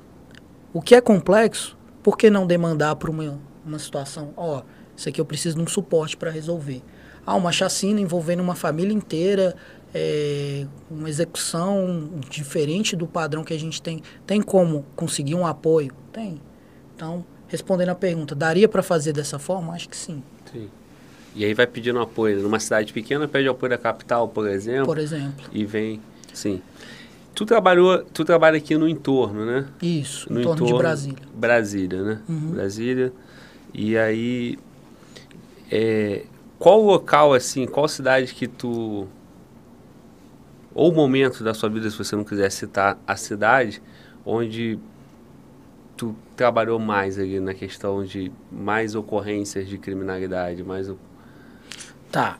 Uh, o entorno de Brasília, ele é, ele é conhecido por, por um período que ele teve aqui de, de alta, digamos assim, de alta violência, né? Uh, eu sou lotado hoje em Lusiânia uh, e é uma cidade que tem, até por ser uma, uma cidade dormitório praticamente, né? Uma cidade que as pessoas transitam, Trabalham, é, né? trabalham em outra cidade, voltam em casa para dormir e, e, assim, desigualdade social, toda essa questão, tem uma taxa de violência exacerbada na, na minha atual regional. E ela, ela não é responsável só por Lusiânia, ela atende outros municípios que também têm esse tipo de perfil. Sim. Então aqui é uma regional que a gente atende bastante é, morte violenta, atende bastante. É, agora, em termos de estatísticos seriam esses, né? Percentuais seriam esses. Mas eu trabalhei muitos anos em Caldas Novas, que é uma cidade que o perfil já é outro, né? É, a população que vai para lá é uma população é, tem a população que reside, obviamente, mas é uma, né? região turística, exato. Então lá eu tinha uma demanda de atendimento diferente do que eu tenho aqui. Ah, obviamente estou comparando perícia externa com perícia externa, local de crime. Lá eu tinha uma demanda mais de acidente de trânsito, que é até natural da gente imaginar. São várias GOs, né, estradas menores, rodovias menores, dando acesso àquelas regiões turísticas. É, pouca criminalidade, porque é uma população menor, mas tem também. E seria minha demanda. Agora, na, na regional aqui do entorno, a gente percebe um aumento nas mortes, nos homicídios mesmo, assim, uma demanda maior por esse, por esse tipo de atividade, assim, por esse tipo e de... quando você fala morte violenta, é, pelo menos para mim, a pessoa pensa logo em não necessariamente essa morte violenta é arma de fogo, né? Isso. Morte violenta, como a gente tinha colocado no começo da conversa, são aquelas mortes não naturais, né? Então, a morte violenta ela pode ser classificada em alguns tipos. É, homicídio, suicídio ou acidente. Dentro do homicídio, ou seja, uma morte perpetrada por outra pessoa. Dentro do homicídio, a gente pode ter por arma branca, por, por arma de fogo, por enforcamento, esganadura, enfim, é, lesão contusa. Então, assim, é, o violenta que a gente coloca aí, quando a gente faz esse termo geral, não quer dizer necessariamente que foi aquela violência de tiro, de, de briga. É o não natural. É né? o não natural. Então, um Sim. acidente de trânsito é uma morte violenta. Sim. Para traçar um paralelo. Sim. E, e daí, o, o que que... O que que... Não de impacto... Aquela pior cena, aquela cena assim, cara, aquela cena de filme de terror que, que você presenciou assim, que te impactou. E eu tô te trazendo para esse ambiente porque é o ambiente da curiosidade, né? Sim, sim. É o sim. ambiente que a gente vê é, os filmes dando aquela dramaturgia muito maior e mas de fato também você deva ter isso na realidade, né? Então, Sim. como é que é ir para um perito chegar naquela cena e falar? Glauber, a cena que mais me impactou, assim, do ponto de vista da cena e da história, foi um triplo homicídio envolvendo uma, uma mãe e dois filhos, uma criança pequena, uma garota e um garoto. Deviam ter por volta de quatro e o outro seis anos. Duas crianças. E a gente foi acionado e assim, essa, essa senhora com os dois filhos já estavam. Já, já tinham. A família já não tinha notícia, tinha uns dois dias, assim. Então, para um óbito, né? Já estaria entrando aí numa fase de decomposição. Então, só por ser decomposição, a gente já, já cria um impacto maior na cena. Mas essa cena, Glauber, me marcou muito pela por você lidar com o pior, o pior do ser humano, tudo num lugar só, assim. Foi contra criança, foi contra... É, foi o meio que ele utilizou foi tesoura e faca. Então foram várias tesouradas na mãe, várias na, nas crianças. É, assim, cara, foi uma cena horrível, horrível. É, e dado o fato de que também já tinha dois dias do, do ocorrido, é, eram dois dias, agora eu não lembro, Glaube, mas era assim. Essa ocorrência, cara, foi que, que eu decidi sair da externa. Foi nessa ocorrência. Falei, isso aqui não, não é para mim. Assim, porque uma coisa, Glaube, é você chegar numa cena dessa, olhar, criar raiva do agressor e ir embora com aquela raiva do agressor e falar, eu vou pegar esse cara ou eu vou prender esse cara, seja lá o que o seu íntimo lhe diz. Mas outra coisa é você pegar essa cena, você ir para casa com essa cena, você conversar com essa cena e você ter que escrever um laudo sobre essa cena. Então, assim, é, quando eu vivenciei essa, essa ocorrência, eu falei, cara, não quero mais. Eu quero ajudar de outra forma, porque essa daqui, apesar de estar ajudando os outros, não está me ajudando. Foi a, a mais impactante, assim, que eu tive. E o agressor era o, o pai? O... Esse agressor era um ex, assim, é, é difícil eu, eu, colocar com essa convicção, mas o histórico da ocorrência é que é um, um, um, um término de relacionamento que ele não aceitou. Aí ele voltou na casa dessa, dessa moça, matou os três dentro da casa. Duas crianças pequenas e a mãe. E a criança, os filhos? Os filhos só dela. Dela. Não eram filhos dele. Só dela. Pois é, irmão. E tu, e tu colocou a cena, eu, eu te provoquei para você trazer uma cena e você relatou pra gente o quanto isso impacta no profissional também, né, cara? Exato. A ponto de você concluir e decidir que você precisava ir para uma outra área. Sim. Esse aspecto psicológico, esse impacto, ele, ele o, o profissional ali da perícia, os colegas que estão no IML, na polícia científica, acaba que sentem isso inevitavelmente, né? Sim. Agora, é interessante, Glauber, quem trabalha de plantão, é, geralmente é um pessoal muito brincalhão. Eu acho que é até um mecanismo de defesa. De defesa, com certeza. Porque a gente, todo mundo ali tá, as suas 24 horas de plantão são 24 horas para resolver pepino para resolver coisa ruim, para trabalhar com coisa ruim, é só para você não, não tem um dia que você chegue lá para receber flores. Você tá lá para fazer. A, a, sua missão é essa. E aí, cara, eu vejo que o pessoal lá é, é muito. Muito tranquilo. É, é, assim, brinca bastante. Você não vê ninguém tenso num plantão. Mas essas coisas vão para sua casa, para sua família. E se você não trabalhar isso, isso impacta você fora do, do serviço.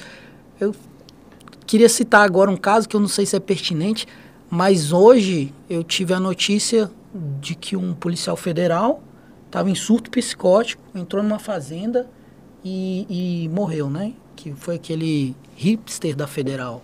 Sim. Não sei se você chegou a conhecer, ficou eu, famoso. Eu, eu fiquei sabendo do caso. Uhum. Não sei muita informação. Chegou só assim no é, WhatsApp. Eu também só vi o...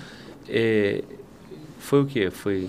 Pois é, eu, do histórico eu também só vi notícia, mas pelo histórico é que ele estava em surto desde o dia anterior, entrou na fazenda, não sei nem se conhecia as pessoas da fazenda, e, e lá o, o dono da propriedade, em legítima defesa, aparentemente, um cara entra na minha casa, é, arromba minha porta, enfim, eu não posso esperar outra coisa, eu vou ter que me proteger dele.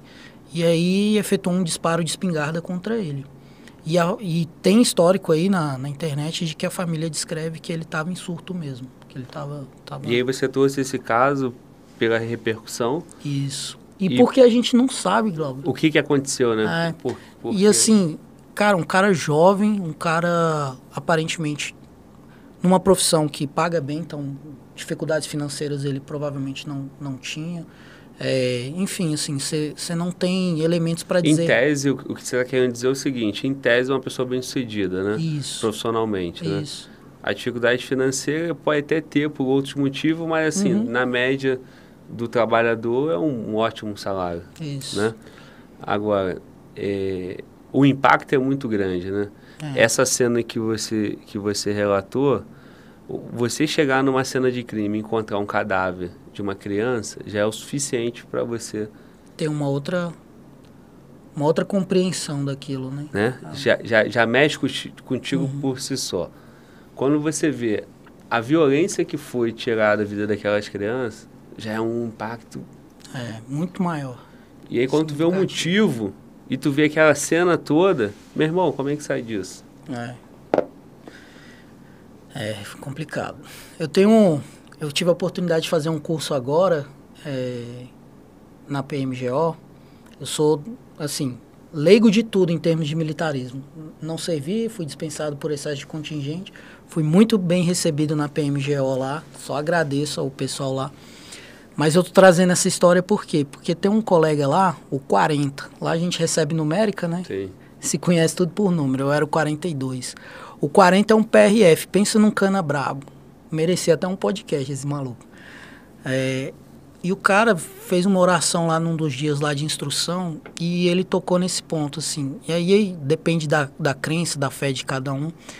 Mas é uma reflexão importante. Ele coloca, colocou na oração dele assim que, cara, a nossa profissão é uma das únicas que você combate de meio físico questões espirituais, querendo ou não porque assim hum, foge a, a minha, o meu nível de compreensão, digamos assim, entender como se instala um nível de maldade desse tamanho, nesse porte, que não seja uma questão espiritual.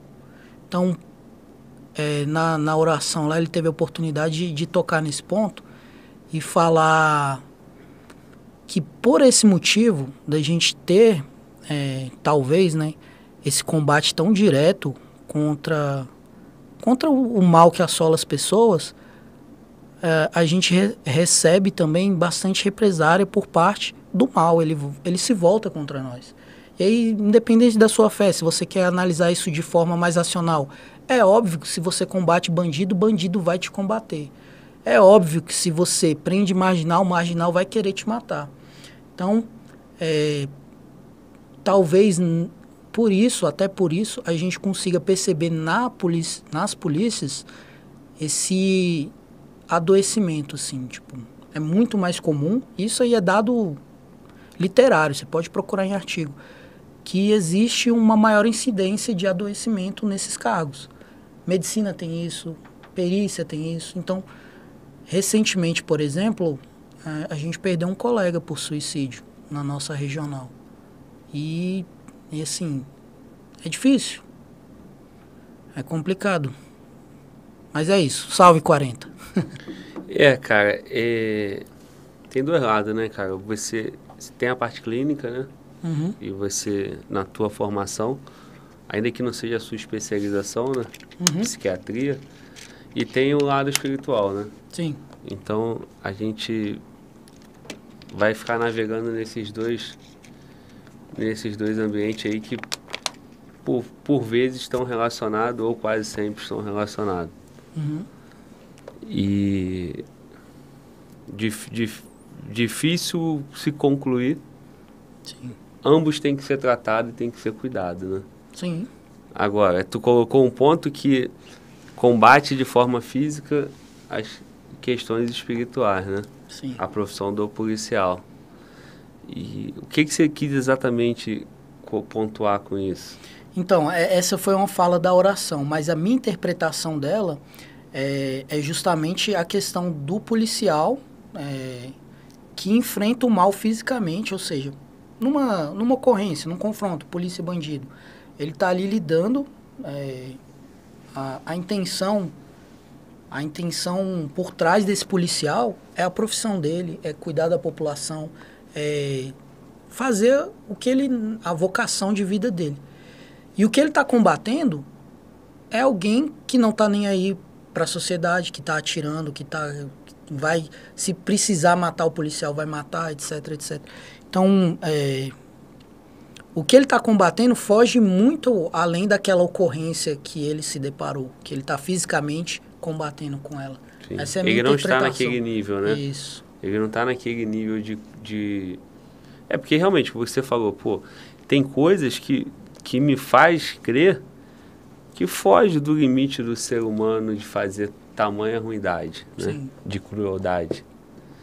E esse tema também é um tema que sempre está, toda vez que a gente traz esse tema aqui no podcast, sempre tem essa questão e, e a depender da, da espiritualidade do colega, da crença dele, os colegas que são espíritas, eles sempre dão é, o respeito em relação a isso, porque eles creem nisso, né? Sim.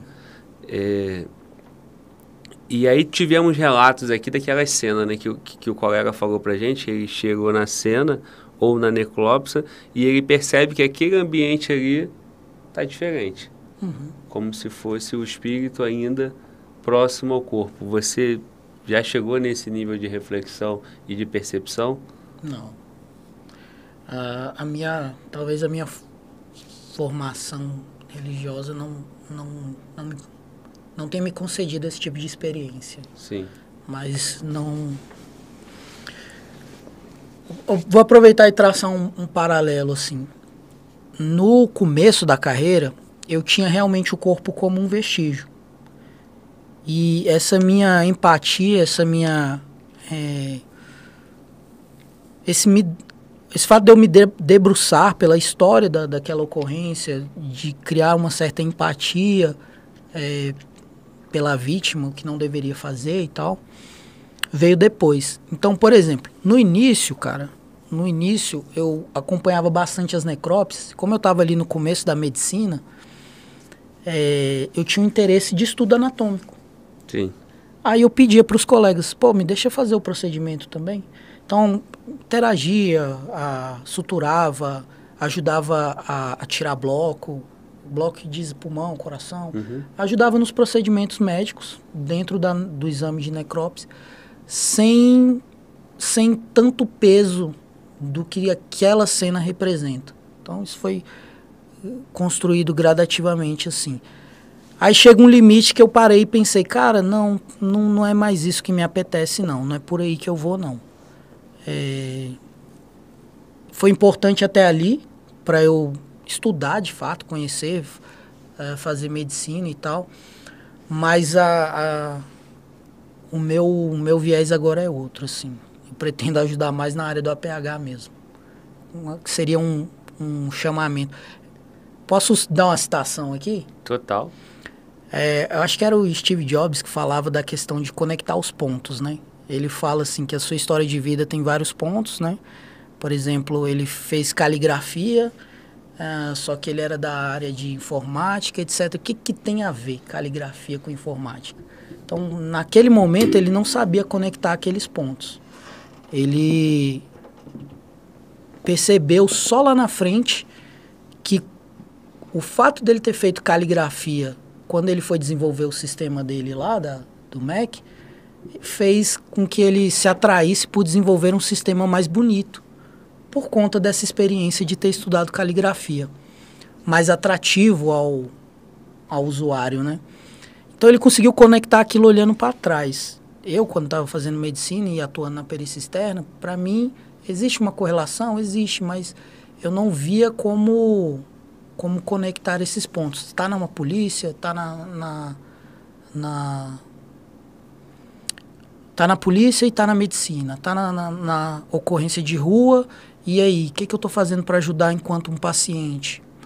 Mas eu percebo que com o passar dos anos eu estou vendo que esses pontos convergem para algum lugar. Eu não sei dizer Sim. onde esse ponto é, mas ele vai chegar. E eu acredito que ele seja junto com a instrução de tiro. Eu estou tentando convergir todos esses pontos com, com algumas coisas e, e vai dar certo. E aí tu conta pra gente depois. Fechou. Cara, é possível conversar sobre isso sem ficar com essa bad pesada, assim, com, com essa vibe pesada numa bad? Toda vez que a gente fala de, de crime, né, de, de, de morte e tal, eu percebo isso. Eu não sei se, é, se é uma percepção minha aqui, não sei se, se, Cara, se você dá, tá... dá, dá pra conversar, assim, só que alguns pontos, assim, é, não sei talvez sejam melhor elaborados se ficarem de lado. Mas no geral dá para conversar. Por exemplo, a questão da espiritualidade eu acho que é uma questão que, que leva um peso um pouco maior na hora de, de conversar sobre, sabe? Mas o restante é, é, é mais tranquilo. É, eu percebo sempre uma, uma, preocupação, um profissionalismo muito grande, e isso aqui, o canal também tem isso, que é o certo. respeito, né? Uhum. A gente está tratando de experiência, sua experiência, experiência de outros convidados, mas, sobretudo, são pessoas, são certo. corpos, e que tem família, né? Então, a gente sempre aborda isso com, com muita responsabilidade. Mas é inevitável. É, tem é, esse peso ainda. Fica né? em peso, exatamente. A primeira vez que eu fiz o primeiro convidado que eu recebi nessa área foi justamente o teu amigo Leandro. Uhum. E, e, cara, foi bem assim mesmo. Foi igual tá nós dois aqui hoje. Aí depois eu fui ver o conteúdo, rever o conteúdo. Eu falei, porra, tem que tava maneiro pra caramba. Mas no, no, momento aqui no ao vivo, Parecia eu um tava assim, maior. caraca, mané, porra. Entendeu? Então eu tô percebendo isso um pouco também. É, e eu não sei se a tua calma ou se realmente dá um desconforto sobre isso. Eu acho que o desconforto, Glauco, porque são questões que eu já trabalhei. Então são questões que eu abro sem problemas. Mas é a primeira vez que eu abro fora da minha esfera de intimidade. Então são questões que eu já tive a oportunidade de conversar. Porque o que eu estou te trazendo é realmente o que você falou, é minha experiência. Então Isso. são opiniões, são, são questões puramente pessoais. É, que eu acho que é até essa graça do canal, trazer o ponto de vista do policial dentro de uma polícia e não o ponto de vista da polícia. Sim, perfeito. É, então, assim, acho que talvez esse peso seja por eu abrir a primeira vez para pessoas que não estão no meu círculo de intimidade. Sim. Mas vamos, esse é o desafio. vamos que vamos. É, esse é o desafio. Esse é o desafio. É. Mas pensa o seguinte, eu já sou totalmente íntimo seu, né? Ah, é? E tá só nós dois aqui, pô. Então, aquela câmera ali não é uma pessoa, é uma câmera. Tem uma multidão atrás da câmera, só que eu não tô vendo. Bom, Você tá vendo? Ninguém. Então, Brasil. Mas, irmão, qual, aí você falou da instrução de tiro, né? Vou te, te levar para um ambiente para tirar o seu sorriso, que eu percebi que você... A instrução de tiro você, você colocou como um possível ponto de ligação de tudo isso aí. Uhum. Em que momento que tu vai para a instrução de tiro? A, a instrução de tiro, ela é para você capacitar pessoas, óbvio, como, como, lógico, como instrutor, mas ela é sobretudo você tão capacitado a ponto de ser instrutor. Não sei se eu fui claro. Vamos lá, eu, eu sou muito realizado em poder da instrução de tiro, principalmente agora que eu faço também dentro da minha instituição. A minha instituição, por um certo período, teve aquela dificuldade inicial de não ter armamento próprio para cautelar, também não era interesse de parte dos servidores em ter esse armamento. Tem até aquela frase, Glauber, é, que dizem por aí: a arma do perito é a caneta. Aí defendem que o perito nem policial é, né? Alguns ainda pensam assim. Graças a Deus essa corrente vem, vem perdendo força. E de 2019 para cá, a, a, a, gestão atual lá, essa gestão já é mais antiga, mas eu percebo que de 2019 para cá, os caras têm empenhado bastante nesse lado policial da nossa polícia científica. Então, os caras têm conseguido coisas assim que para mim são ganhos muito positivos. A primeira a cautela das armas próprias. O pessoal lá cautelava, mas eram armas particulares que usavam em serviço. E agora a gente tem armamento próprio, doado pela gloriosa PM Goiás. a gente recebeu umas Zimbel lá, show de bola, ponto 40. E eu tive a grata oportunidade de ser convidado para ser instrutor na habilitação desse primeiro armamento. Então, foi assim um marco que eu, cara, é uma realização dentro da, da atividade profissional lá.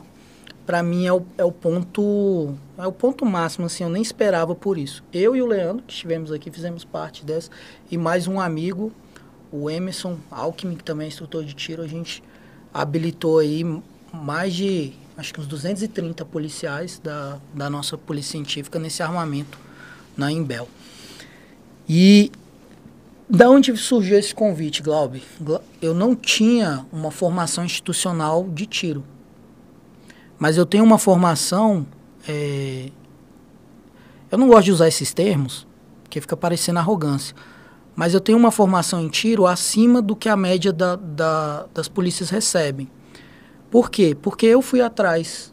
Eu paguei curso é, privado para ter essa habilitação. No decorrer da minha carreira, eu percebi que eu cometia vários erros em relação ao portar arma de fogo. Na folga, em casa, etc. E aí eu percebi que eu precisava conseguir é, ter uma maestria, um domínio melhor disso. E não só tecnicamente, Glauber mas atitudinalmente. Poder usar essa arma com consciência. E fui atrás, cara. Um primeiro curso de tiro que eu fiz, que para mim foi o melhor, chama Sobrevivência Policial. Eu não tô fazendo jabá, não. É isso que eu ia te falar agora. Que manda o cara mandar um dinheiro pro canal tô, aí, pô. Eu não tô fazendo é, jabá, não. O canal tá precisando, hein? Mas é, essa demanda nasceu justamente por causa das nossas estatísticas, Glauber. O policial morre na folga. Sim. E você falou que você cometia vários erros, né? Certo. No porte do armamento ali, uhum. no tato com o armamento. E, e levando em consideração que o, o, o, momento mais sensível do policial é na fala, como você colocou, uhum. e hoje está muito difundido a questão do, do treinamento, então vários instrutores, eh, vários colegas desse curso mesmo que você citou e, e, vários outros que você também já fez, Quais são esses erros, cara? Assim, é, na sua percepção, porque hoje você olha para trás e fala assim, pô, eu, eu percebi que eu estava cometendo vários erros. Então, assim, com a sua experiência, que é o que a gente faz de melhor aqui, né? Uhum. Que é passar a experiência do convidado. O que, que você tá. chama desses erros? Olhando para minha cara, você diria que eu faria o que antes da polícia? Antes de ser policial? Deixa eu ver. Cara, você tá me lembrando, sabe o quê? Ah. E aí eu, eu você não, não sei se você viu, te convido para assistir um corte nosso aqui. Ah. Que o camarada falou que caiu no golpe do LX, aí ele falou assim, pessoal, com todo, todo respeito, mas eu fui lá no Google e botei assim, ó, cara de engenheiro nerd. então eu olho para você, eu vejo um engenheiro nerd respeitosamente a você Glauber, e todos certo. os colegas engenheiros. quase, quase certo, eu era realmente muito nerd, muito nerd na química, então eu era Eu era Caxias, eu era o que estudava, o CDF. Sim. Mas eu andava de skate, olha quem diria. Não, Andava de skate e, e era uma paixão. eu não sei porque que eu não falei isso antes. É, cara de skatista total, né? É.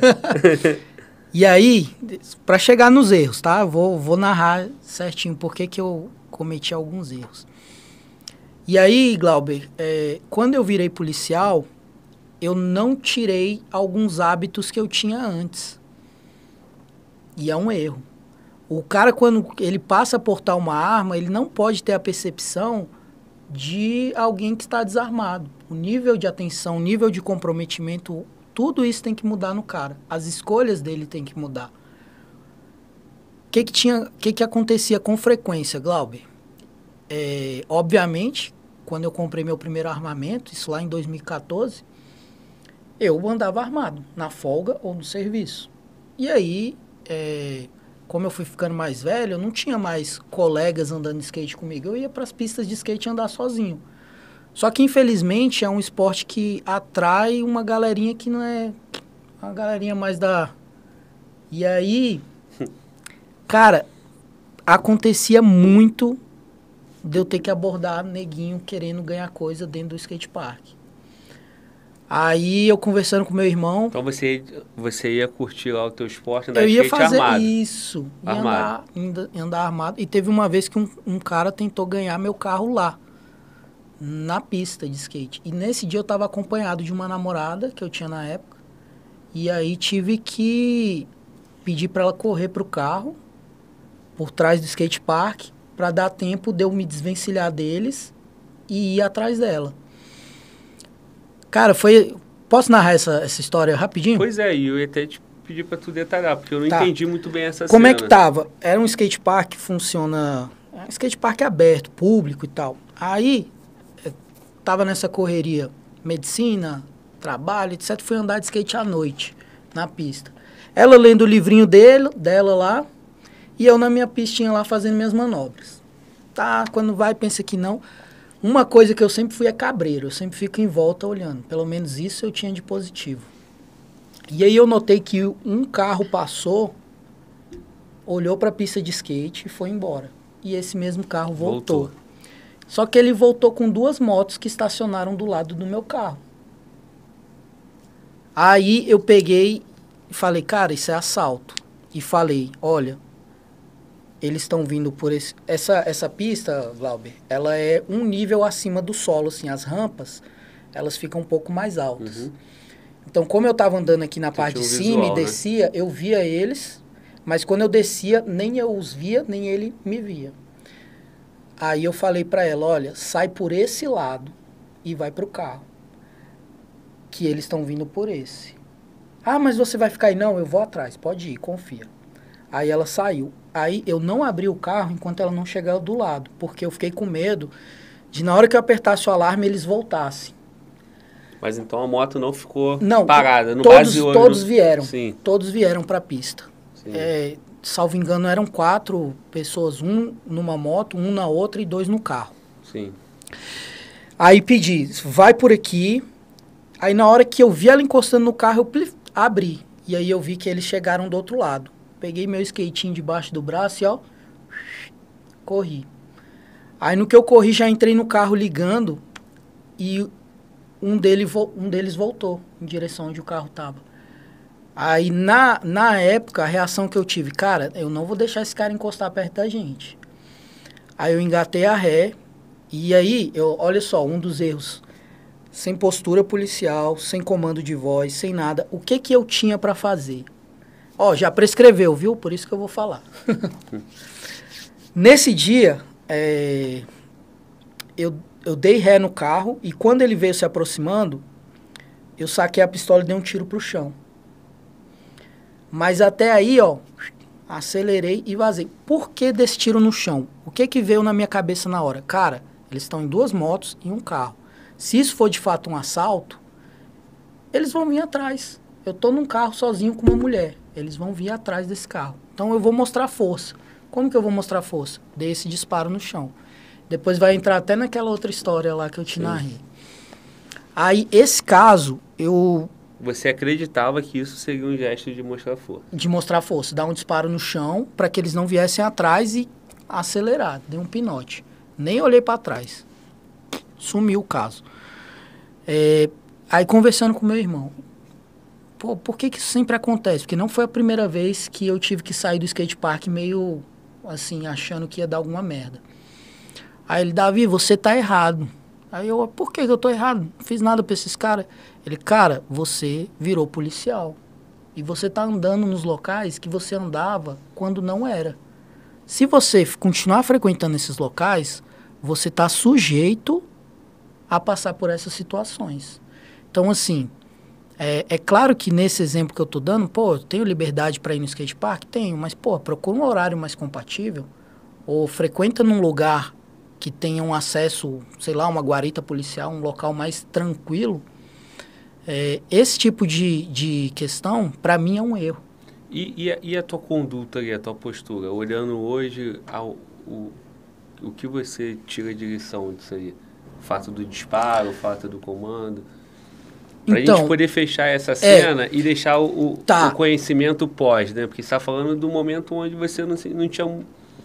Então, hoje, eu não teria dado o disparo e eu teria acionado 190 no momento que eu percebi. Teria feito esse mesmo percurso. Olha, vai para o carro, entra por ali, etc, etc. Mas eu teria pedido apoio. Cara, apoio. Você falou que é da polícia, os caras vêm virado no, no 120. Então, assim, é uma coisa que eu teria pedido, era apoio. Mas o percurso que eu fiz, é, eu teria feito parecido. O disparo, a, a ética me diz para falar que eu não faria de novo. Sim. Mas aí no momento é, de, de reação hoje, já com bem mais é, habilidade com armamento, uhum. com mais perícia no armamento, uhum. é, teria situações de reação ali para você desenrolar que você se sentiria muito mais à vontade Sim. do que naquela época, né? Porque o, o 190 até também vai demorar um Sim. pouco mais, né? E aqueles primeiros segundos ali, minuto... Sim, a questão de, de saber abordar... É, cara, não se aborda sozinho, né? É um erro. Mas ali, em última situação, saber abordar é, é, uma, é uma possibilidade. Então, por exemplo, eram quatro, né? Eu já tinha deslocado a, a namorada para o carro. As rampas eram de concreto, a meia altura, assim, né? Daria para eu abordar de longe? Daria. Daria para eu ter um comando de voz mais, mais impositivo. Bora, levanta a camisa, o que, que você tem aí? Né? Então teria outras possibilidades. Mas é, que seriam facilmente evitadas com, com um simples gesto. Qual a única forma garantida de vencer um conflito, um Não confronto? Entrar. Não entrar nele né? Sim. Aí, por isso eu considero que essa minha escolha, essas minhas escolhas estavam é, erradas no momento. Tem uma outra interessante também se o tempo permitir. Tem várias outras, né? Que eu errei bastante antes de... antes de... Aí, ninguém, ninguém nunca pode falar mais que aqui no podcast o polícia senta aqui só para falar a vitória, né? É. O cara acabou de falar aí, ó, eu errei bastante, tem outras, né? É. Então derrota se conta também, né, irmão? Conta e, e vem para crescimento. Muito bom. Amadurecimento. Tem uma situação, Glauber, que eu evitei um, um morador de rua sendo agredido. Quatro horas da manhã, eu voltando da casa da namorada. É só de madrugada essas aí. As é. ocorrências de manhã. Mas é, de noite que as coisas acontecem. Aí, no SAMU você sabe bem disso também, né? É. No SAMU é quando brada as ocorrências. É. As facadas, baleadas, é tudo esse horário. O é, que que acontece? Quatro da manhã? Voltando no meu carrinho, adivinha onde estava minha arma, Glauber? Na bolsa, na mala. Hum, na época que eu, que eu acertava tudo, né? no porta-luva, Glauber. É. No porta-luva. Ou seja, a arma não era minha. Eu Sim. não estava portando uma é, arma, eu já escutei história pior que essa. Realmente tava mais próximo de acesso, né? Não estou dizendo que tá certo, é claro. Aí, Sim. tava lá, aí eu vejo lá no final da esquina dois caras fiando a pancada num, num cara que até então não tinha percebido que era um morador de rua. Quando eu me aproximo, eu pensei, cara, não vou chegar até lá. Vou reduzir, vou parar para ver o que, que é isso. Aí, dada essa situação, eu parei e fiquei olhando para ver se a situação terminava. E aí, os agressores, ao ver meu carro parado, pararam de bater no cara e foi a oportunidade que ele teve de correr em direção ao meu carro. E começou a gritar: Olha o que, que eles estão fazendo comigo, olha o que, que eles estão fazendo comigo, não sei o quê. Aí eu, bem, acabou. Né? Porque ele conseguiu correr para cá, eles foram para lá, não precisei fazer nada. Sim. Tá tranquilo. Desviei do morador de rua e segui. Isso, a arma no porta-luva.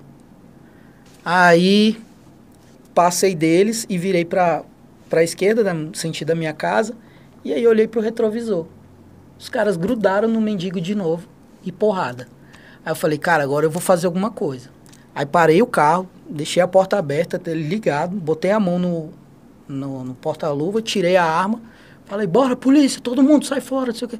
Não quis nem abordar, eu só verbalizava para que eles fossem embora. Sim. Verbalizava para que fosse embora, fosse embora, fosse embora. Qual foi a postura deles? O oposto. Um veio por, pela lateral do meu carro e o outro veio conversando comigo. Não, cara pegou meu celular e eu. Não importa. Na verdade, eu falei outra palavra, né? Eu não importa. Pare a sua agressão. Aí virei para ele, falei dessa forma, ele continuou a se aproximar. É... Talvez eu tivesse falado é, com mais convicção, né? Não importa. Não importa, senhor. Seu bobo. É desse modelo.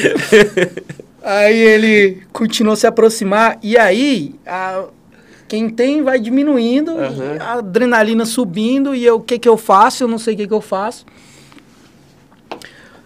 Por sorte eu tinha um ensinamento guardado lá no fundo do baú de um professor de jiu-jitsu. Ele falava assim, ó, no campeonato, se tiver, o cara estiver te sacaneando, não sei o que, tu quiser fazer uma maldade. Sabe o que, que é baianar, Glauber? Uhum. Baiana, entrar de baiana? Sim. A gente tinha uma fita é, para baianar de entrar com o pé assim, calçando, né? Aí, ó, se você quiser entrar na maldade, vai no joelho do cara. Aí na hora me veio isso na cabeça, vai no joelho do cara. Aí eu fui no joelho e dei um tiro ao mesmo tempo. Aí eu. Pum! Aí o cara, o que tava dando a volta no carro, correu para lá e esse correu pro outro lado. E eu, ó, saí fora. Mais um tiro. eu tô pensando. Mais um tiro. Cara, me perdoa, irmão. Eu dei uma risada aqui que eu pensei, essa hora deve ter alguém falando, então é esse Então foi esse cara. então é esse cara que toda hora te dá um disparo aqui pela Mais cidade. um tiro. Oh, e, e foi engraçado, isso é real. Eu fui no outro dia de manhã catar o estojo com medo de ter perícia. e achei. ai, ai. Para é... de rir, Glauber. Aí, eu falei com ele tirar o seu sorriso, eu nem sabia é. que ia sair. Aí o que que rolou? É, cara, não se aborda sozinho, sem, é, sem comando de voz algum. Deixei os caras se aproximarem. Glauber, quantos vídeos você pega no WhatsApp aí de pessoas que morrem com a própria, própria arma? arma? Eu era mais um, Glauber. Nesse, nesse dia aí, cara, foi Deus, porque se o cara grudasse na minha arma, Pensa, se meu pé alcançou o joelho dele, a mão dele não alcança minha arma? Sim. Alcança. Então, deixei assim, deixei, entre aspas, o cara chegar numa esfera de combate ali que eu não deveria ter deixado. Sim. Então, eram vários, vários, vários erros. Então, o que as polícias nunca deveriam deixar? O cara ter uma arma sem ter esse tipo de instrução. O cara ir pra rua, pra folga... Porque o, o, o Peba, ele não é burro. É, ele, não, ele não vai confrontar com cinco barcas de, de polícia para correr risco de morrer. Ele confronta com um cara que está sozinho, com um cara que está portando. Então. E o agressor, o agressor ele vê na vítima como uma oportunidade, né? como uma presa fácil, né? de alguma forma. E, e a falta de preparo, por mais que tu esteja empunhando o armamento, o agressor também pode olhar para o polícia ali, para o colega armado, e, e, e ver de alguma forma é. alguém sem, sem, sem muito comando. A tua humildade, irmão, eu te agradeço muito por isso, porque é um tipo de conteúdo que não é para qualquer um. E, e não é galera... qualquer um que está disposto a, a, a contar os erros, entendeu? Sim. Com essa tranquilidade, essa humildade. E eu ainda ri de tu, irmão. Eu pois ri, é. eu ri de tu por causa do disco que tu olhou pra mim. Você pensou a mesma coisa que eu. mas o disparo, quando tu falou isso, eu não me aguentei. São vários, tem Mas vários. É, é, muito bom, cara, muito bom mesmo, porque é isso, irmão. A, a capacidade, o preparo passa por essas etapas. Sim. Bom quando o colega não erra, né? E consegue se capacitar, mas por vezes erros que custa caro, né? Sim, e por isso que eu te falei, e, assim, a, a, o meu a minha trajetória dentro da instrução de tiro começou daí. E por muita sorte, assim, parece obra do destino, o meu primeiro curso foi voltado para essa temática de sobrevivência, sobrevivência policial, que aborda situações de quem está na rua, no, na sua hora de folga. E não. É... Cara, de serviço é muito mais fácil você ter uma voz de comando. Porque Sim. mesmo que você fale baixo, ou você, é, enfim, não, não cause medo para aquele cara, tem mais um canga teu do lado. Tem uma viatura, tem outro, tem outro dando apoio. Isso que eu ia te falar, é. A postura, o ostensivo já é um, uhum. um intimidador, né? Exato. Então, é, é, além de você ter todo o apoio, o cara olha e vê o Estado, ele vê uma viatura, ele vê uma farda. Ainda é. que você ali na é, a gente está falando da polícia científica ou da polícia civil, que não é aquela polícia ostensiva, mas tem viatura, tem, tem farda, não é o padrão militar, mas também tem essa intimidação, né? Exatamente.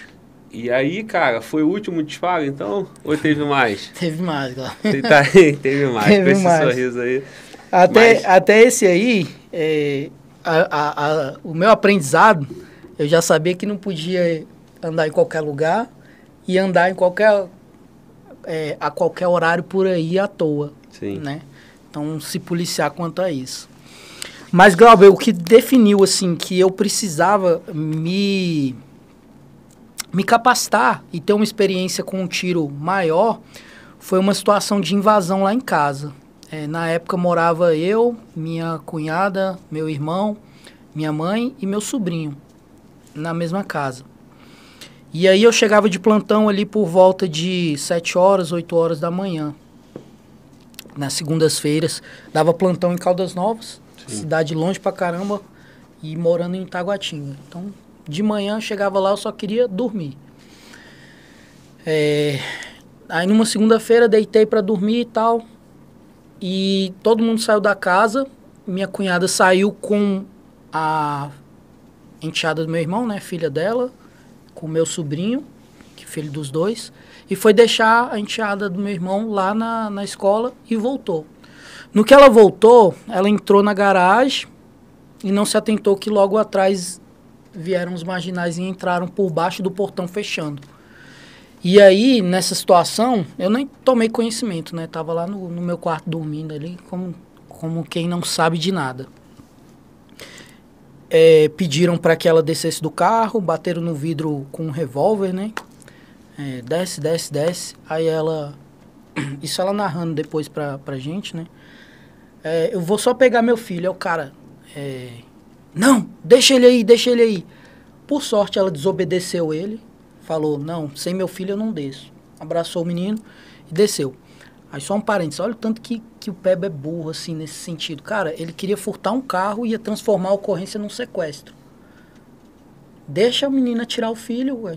É. Mas enfim, desceu, aí pegou o menino no colo, aí eles perguntaram, tem alguém na casa? Aí ela, não, não, só tô eu. Tá, abriu o portão. No que ela abriu o portão, um segundo entrou e pegou uma bicicleta, uma bicicleta cara, essas bicicletas esportivas do meu irmão. Tava na garagem lá. Até uma das suspeitas da investigação é que eles tenham, já estariam rastreando por causa dessa bicicleta e não Sim. tanto pelo carro. Que tinha uma. Você tinha mais valor que o carro? Não, não é tão caro assim não. Mas é porque existem.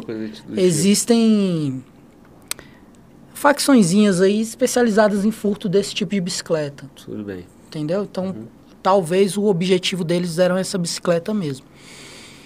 É uma das suspeitas, no caso. É, beleza. E nessa que entrou um, pegou a bicicleta, o outro entrou no carro e começou a mexer dentro do carro para poder sair com ele. E a gente não sabe se ele se confundiu ou não, mas ele começou a fechar o portão da garagem de novo. Ele tinha aberto para o segundo entrar e pegar a bicicleta Uhum. e começou a fechar de novo. Nessa, a, a minha cunhada se desesperou no sentido de que ela pensou, cara, eles vão fazer alguma maldade comigo, porque eu tô sozinha com uma criança e ele tá tá fechando esse portão. Aí ela correu ela correu lá pro fundo. Davi, Davi, entraram aqui em casa, estão roubando o carro. E aí eu não, não tive imagem visual dela, porque a cortina estava fechada. Eu acordei assustado com o relato. Achei que, na minha, na minha cabeça, se formou a seguinte imagem. Um cara segurando ela com uma arma na cabeça. Foi essa imagem que, que surgiu na minha cabeça no momento que eu acordei. E aí, vai chegar lá. Tá indo, cara. Você vai chegar lá. agora. Aí se formou essa imagem. E o que que veio na minha cabeça? Cara, ocorrência envolvendo policial não é só um roubo. Vai evoluir. Não é, não é só um assalto. Ou seja, esses caras vão entrar aqui, eles sabem que eu tô aqui e que eu tô armado. Eles vão entrar aqui pra me matar. Aí eu falei, cara, morri.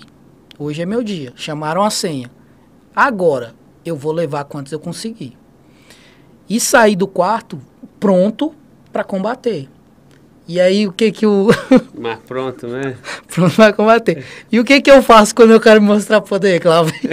Erroneamente. Vamos deixar, Você que já sabe. vamos deixar o chat responder. O que que eu fiz lá no skate park? Fiz aqui de novo. Dei O um que que tiro. Você fez lá no, na É. situação do, dos agressores. Exatamente. Dei um tiro. Ainda bem que tudo prescreveu, viu, pessoal do, do que tá assistindo aí. Nem tem nexo Nem, não. parada. Não Nem dá tem vestígio. É. Cadê esses projetos? Mas isso e aqui aí é... tu deu um disparo. Aí eu dei um disparo. E aí pensando, cara, vou sair, o primeiro que eu ver é fogo e ele vai atirar em mim e eu vou atirar nele. Olha o, o- as consequências dessa postura. Se de fato fosse a cena que eu imaginei, a primeira ação do cara ao ouvir um disparo seria atirar na minha cunhada, já que ele tá de posse dela e eu sair atirando. Sim. Então, foi uma atitude completamente imprudente, errada.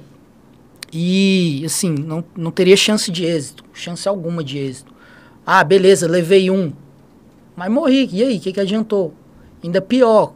Poderia ter provocado a morte da cunhada, do sobrinho. Sim. Um erro pff, iniciante, digamos assim. Cara, aí, nesse dia, para fechar essa história antes de chegar na conclusão, é, por sorte, esse cara se atrapalhou com o portão e, na verdade, ele já estava abrindo e saindo no momento que ela foi me chamar. E quando eu dei esse disparo, ele já estava em direção à rua.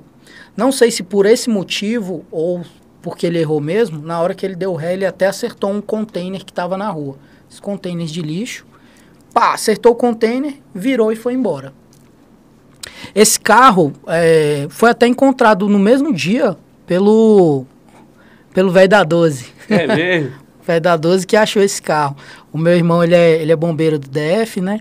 E aí, quando bradou essa ocorrência, é, a PM deu apoio e tal, rolou nos grupos de WhatsApp, olha, ó, furto do carro, do bombeiro tal, não sei o que, não sei o que. E aí foram vasculhar, acharam esse carro na Ceilândia, esfriando, estacionado, parado lá.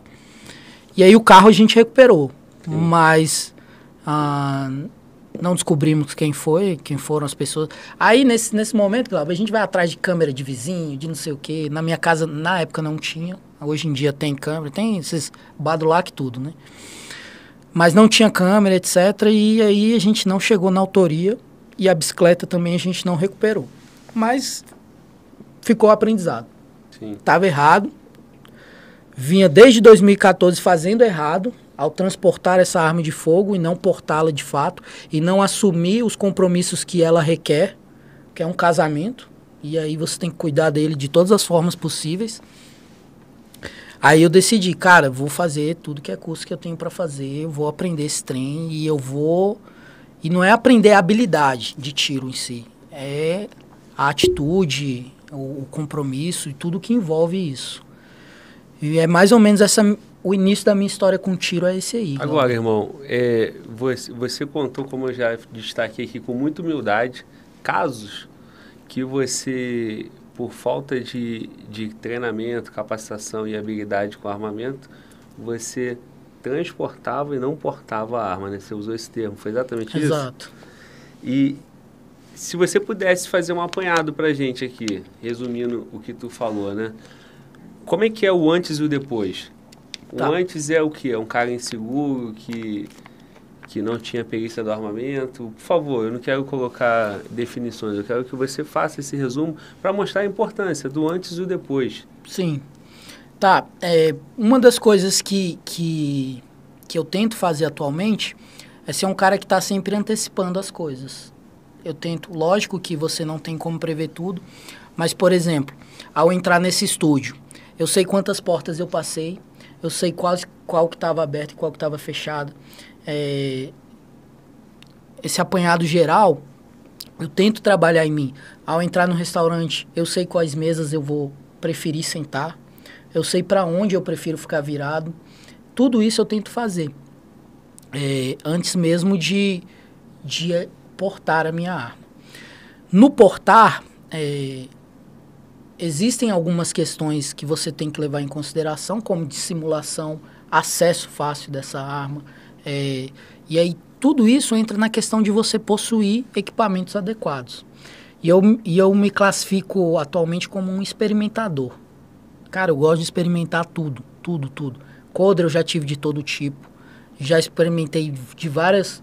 Na posição 4 horas, né, para 5 horas ali é, na posição apêndice, é, coldre axilar, que não recomendo, mas aquelas camisas para porte secreto.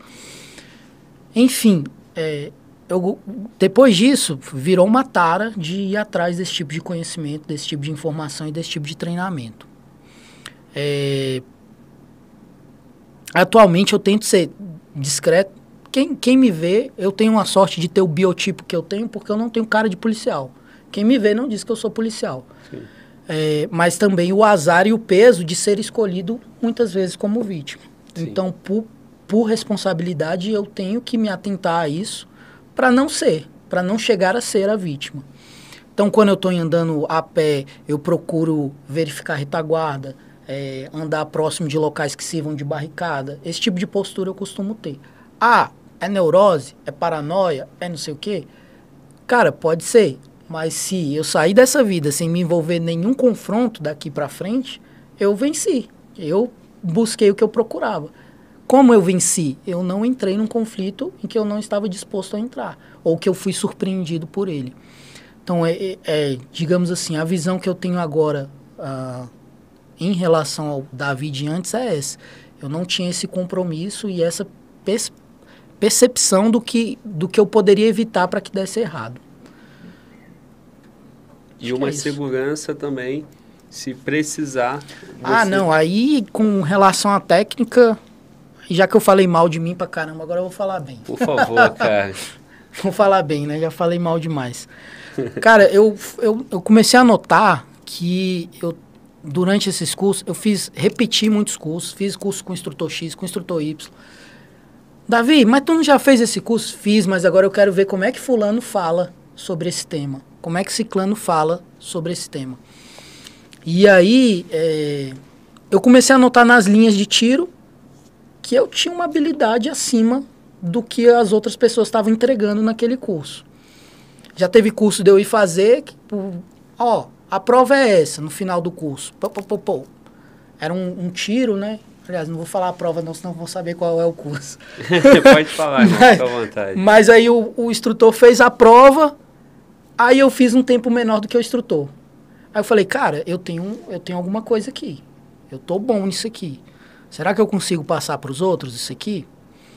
Nessa instrução que a gente fez lá para a Polícia Científica, eu narrei as mesmas histórias que eu te contei hoje, lá dentro da minha casa, das, dos, dos, meus policiais lá, né, da, da minha instituição. Por quê? Porque eu tenho certeza que um cara que ouviu isso, ele não vai sozinho chegar para dois caras que estão batendo no mendigo e ver ele se aproximando e deixar. Né? Uh, eu acho que serve, de certa forma, de, de, de contribuição e, e, e, aí o papel de instrutor de poder dividir isso que eu vim, vim acumulando. Do ponto de vista de habilidade, é, eu percebo hoje o que, eu, o que a arma consegue me entregar. Isso é muito mais importante do que fazer tiros agrupadinhos. Eu consigo, por exemplo, é, agrupar tiros a 5 metros, um dentro do outro, num, numa obreia. Ah, isso é ser um bom atirador? Não. Para mim, é você saber o que a arma consegue te entregar. Eu sei que eu não preciso fazer esses tiros agrupadinhos para cessar uma agressão a 5 metros. Eu posso fazer um tiro sem tanta visada, por exemplo, ou com uma, uma visada de bloco. Eu não preciso dar aquele tiro perfeito para sair desse confronto. Então, isso eu tenho, essa segurança hoje eu tenho. Eu sei o que a arma consegue me entregar e o que eu consigo entregar com ela. É, e isso aí só vem com treino e, e se testar, cara, e, e, praticar. Mas treino de verdade, né, irmão? De verdade. Não é treino dando um tiro no chão, né? Não, parei com isso. Muito bom. Meu irmão, tu quer, quer, quer um energético? Ah, um... se tiver, eu aceito. Tem? Por favor, vê lá pra gente. É, eu acho que tem, sim. Se não tiver, pede pro nosso amigo pedir lá. E, e água tá tranquilo, né? Tá tranquilo. Beleza, irmão. Então, depois de vários disparos, vamos agora ir para outro ambiente. Cara, já que Globo traz alguém do SAMU, eu trouxe, porra. Ah. Eu trouxe hoje aqui, cara, tudo em um, pô. Trouxe perícia, trouxe. É, tem que falar da balística também, ah, é, cara. É, né? Temos que falar da balística. E, e trouxe um, um socorrista. Socorrista. Um médico socorrista. É esse mesmo termo, irmão? Lá no. Coloquial no, no contrato a gente chama de intervencionista, mas Sim. socorrista é, entra. É isso. É isso, né? É. E como é que é essa experiência, cara? Então, Glauber, no internato, internato são os dois últimos anos da faculdade. Eu já percebi que eu preferia áreas da medicina em que eu resolvesse na hora, que eu resolvesse. Eu vou usar um termo que o pessoal da cirurgia gosta, resolver com as mãos. Pegar Sim. e fazer. Sim. Eu gosto muito mais dessa área do que é, estudar o caso minuciosamente, etc, etc. Eu gosto dessa adrenalina de, de pegar e tentar resolver e, e fazer ali, e acontecer. E aí, duas grandes áreas, hum, obviamente, me, me surgiram na cabeça. A área de cirurgia, só que aí você precisa continuar os estudos, fazendo residência, e a área do APH, que é essa área do atendimento pré-hospitalar. Na área do, do APH, é, em suma, o ambiente de trabalho que a gente tem é realmente o SAMU, as ambulâncias do SAMU. E eu tive a grata sorte de ter dois grandes amigos que já trabalhavam lá, é, dois médicos que, que foram de lá e me ajudaram, é, enfim, me orientaram, me indicaram para estar tá, pra tá trabalhando lá. E assim, é uma, uma das áreas que hoje eu me sinto mais realizado é trabalhando no SAMU.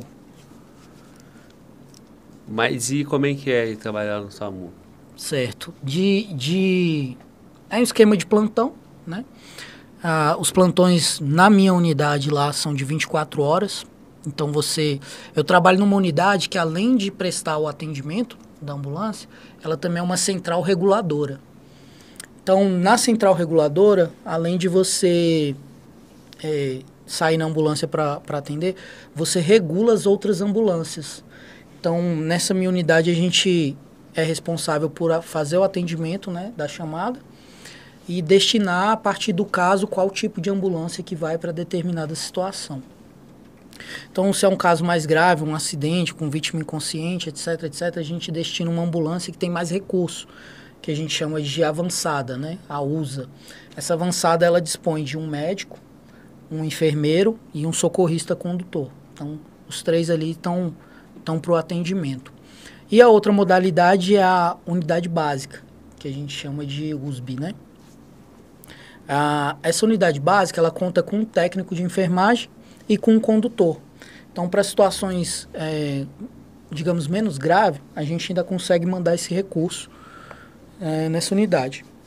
Então lá a gente passa metade do período do plantão atuando na ambulância, socorrendo os casos, e a outra metade na regulação, atendendo os chamados e destinando as ambulâncias tanto do município que eu atuo, quanto dos municípios vizinhos, que também são regulados por essa mesma central. Sim. E é uma outra atividade, né? É... Isso aí, você é uma atividade privada, né? No caso. Sim.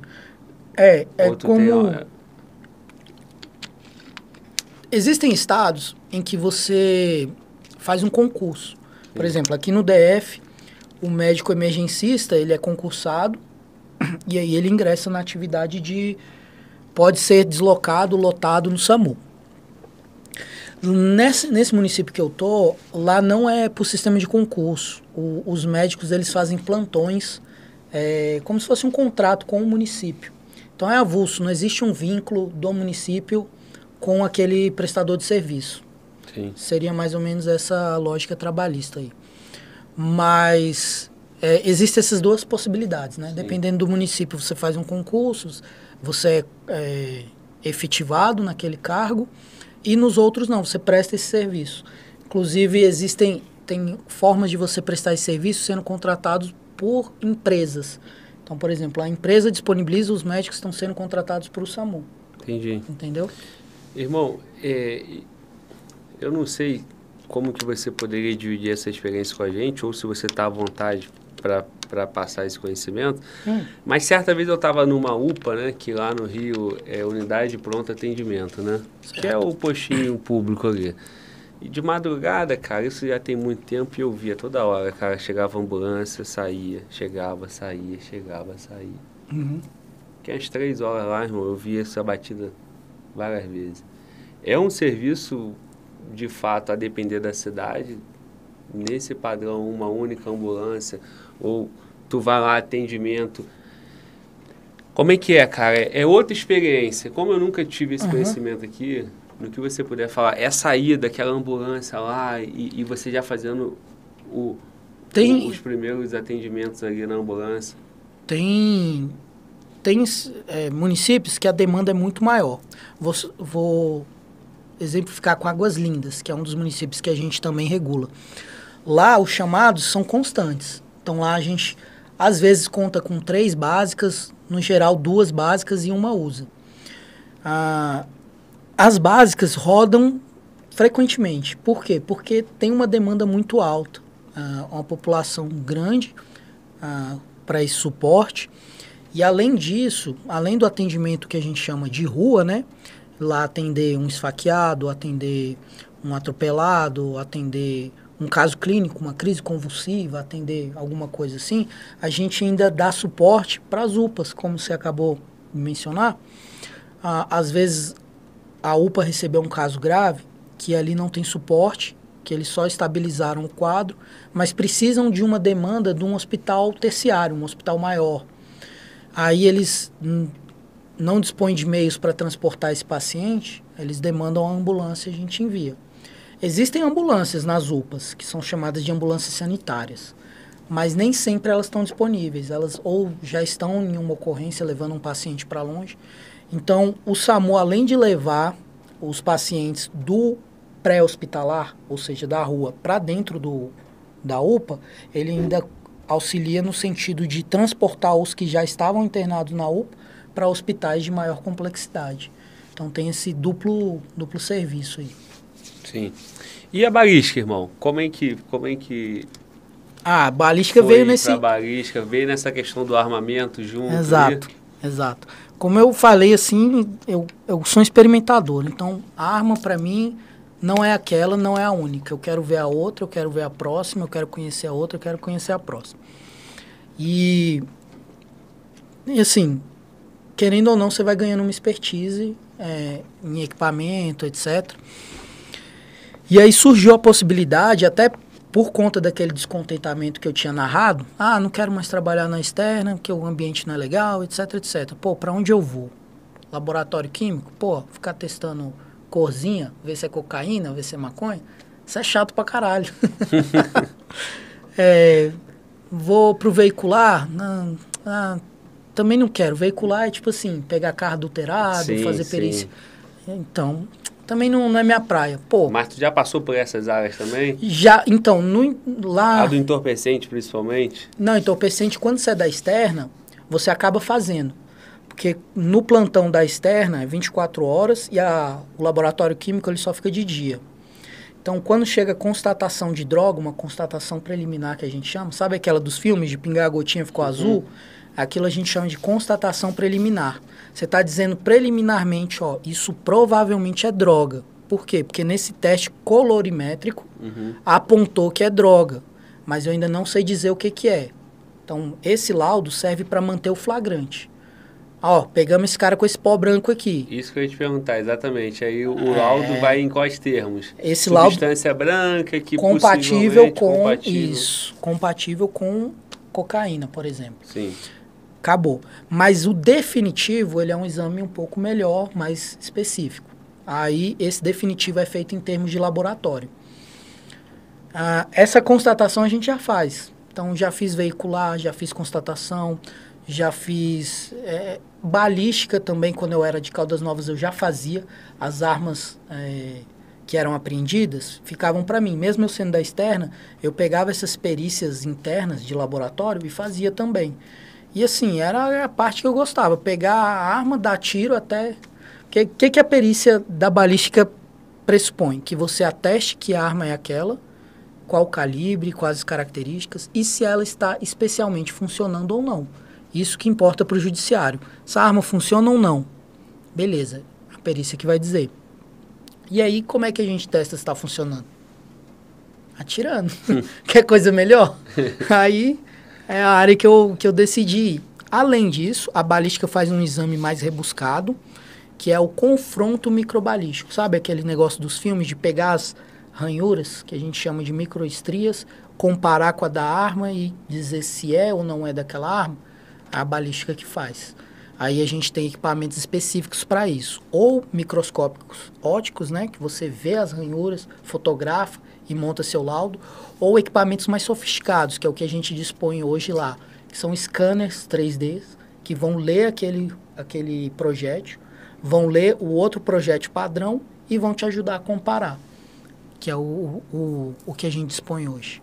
E como é que fecha isso aí, cara? Você chegou na balística, o, o que é comum? Um armamento, um, um projétil, Uhum. é, associado a uma cena que você tem que Tá. encaixar esse quebra-cabeça aí para poder pegar os indícios. Tá, existem dois grandes grupos então. A eficiência e caracterização da arma de fogo, que é essa que eu te falei de dizer o que, que é, se está funcionando ou não e atirar.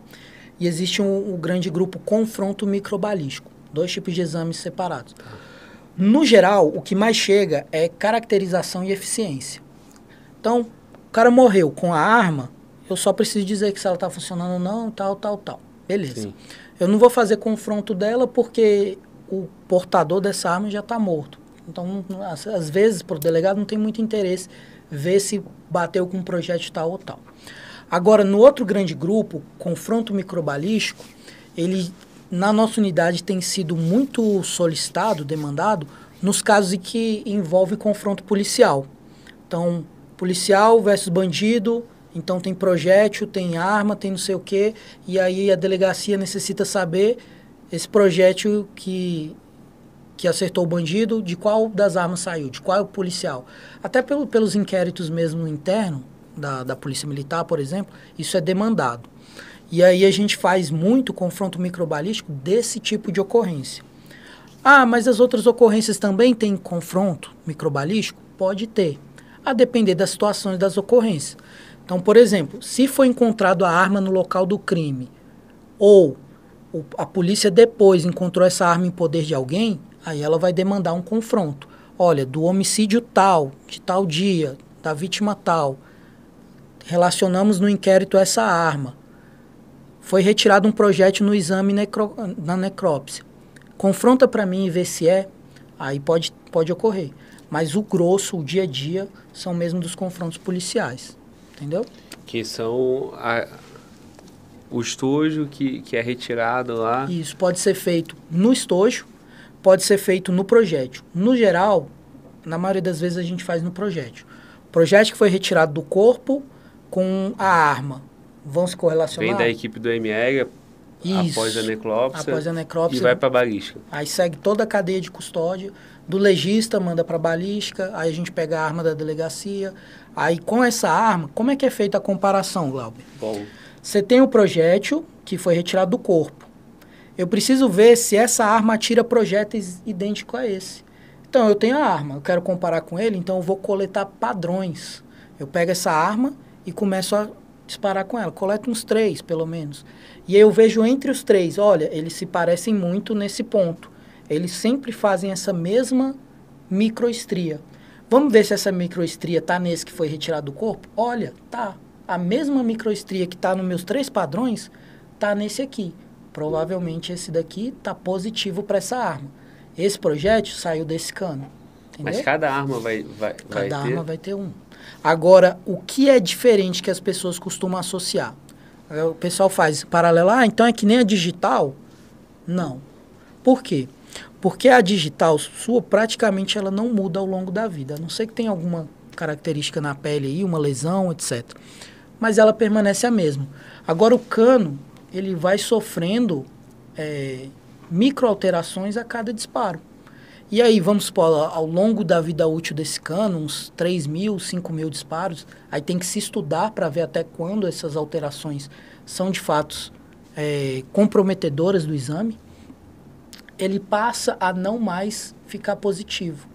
Entendeu? Quando eu coletar os padrões aqui, esse cano já vai estar tão alterado que eu não vou conseguir ver mais essa compatibilidade. Então ela vai se perdendo ao longo do tempo, mas isso com muitos disparos Sim. entendeu? Então essa é uma, uma, uma grande alteração. Agora, um cano é diferente do outro? É. Eu posso não ter é, capacidade técnica para perceber, mas o cano ele é sempre um diferente do outro. Óbvio, com o recurso que a gente tem de scanner, microscópio óptico, etc, etc, presume-se que a gente seja capaz de perceber a diferença de todos os canos. Entendeu? E, e, e a, a depender do caso, traz uma complexidade maior ou é... Não, é um exame bem... Te- bem regular mesmo. Sim. Assim, é um exame bem. É, botar no protocolo e fazer. Tendo os elementos, É, a materialidade ali... isso. É, é bem Sim. simples. O que acontece muito é de ser inconclusivo. É, por exemplo, o projétil que veio do corpo está tão fragmentado ou não ficou as micro-ranhuras porque ele deformou que eu não consigo dizer. Aí a gente não pode dizer não é dessa arma, a gente fala que é inconclusivo Sim. porque eu não consigo afirmar se sim ou se não. Isso acontece bastante. Aí tem até aqueles mitos, né? Ah, esse projétil dá balística, esse projétil não dá balística. Não é bem assim. É, ah, eu vou usar ponta oca porque ponta oca não dá balística. Isso não existe. O que dá balística ou não é a deformação que aquele projétil vai sofrer a ponto de arrancar a base dele. E tem como você garantir que vai arrancar? Não. Então, não é pelo fato de você usar um ponta oca que você não vai conseguir um confronto positivo. Então, você consegue confrontos positivos mesmo em projéteis ponta oca. Agora, irmão, em relação ao estojo, né? Uhum. Que é muito comum, né? Até em filme, novela, em qualquer situação, até na vida real mesmo, o Sim. colega vai lá e recolhe. Uhum. Como, como que a balística trabalha Beleza. essa parte? O estojo ajuda a gente em várias questões. Primeiro, uma questão mais genérica. Delegado, ó, tô suspeitando daquele cara ali, ele tem uma 380. Ué, eu coletei o estojo aqui, é ponto .40. Ah, então não é essa. Percebe que já me ajudou em uma coisa? Sim, A descartar outros calibres. sim.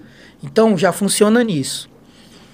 É, que a gente chama de uma identificação genérica, né? Por calibre, por exemplo. Então, Sim. a gente identificou qual calibre foi usado.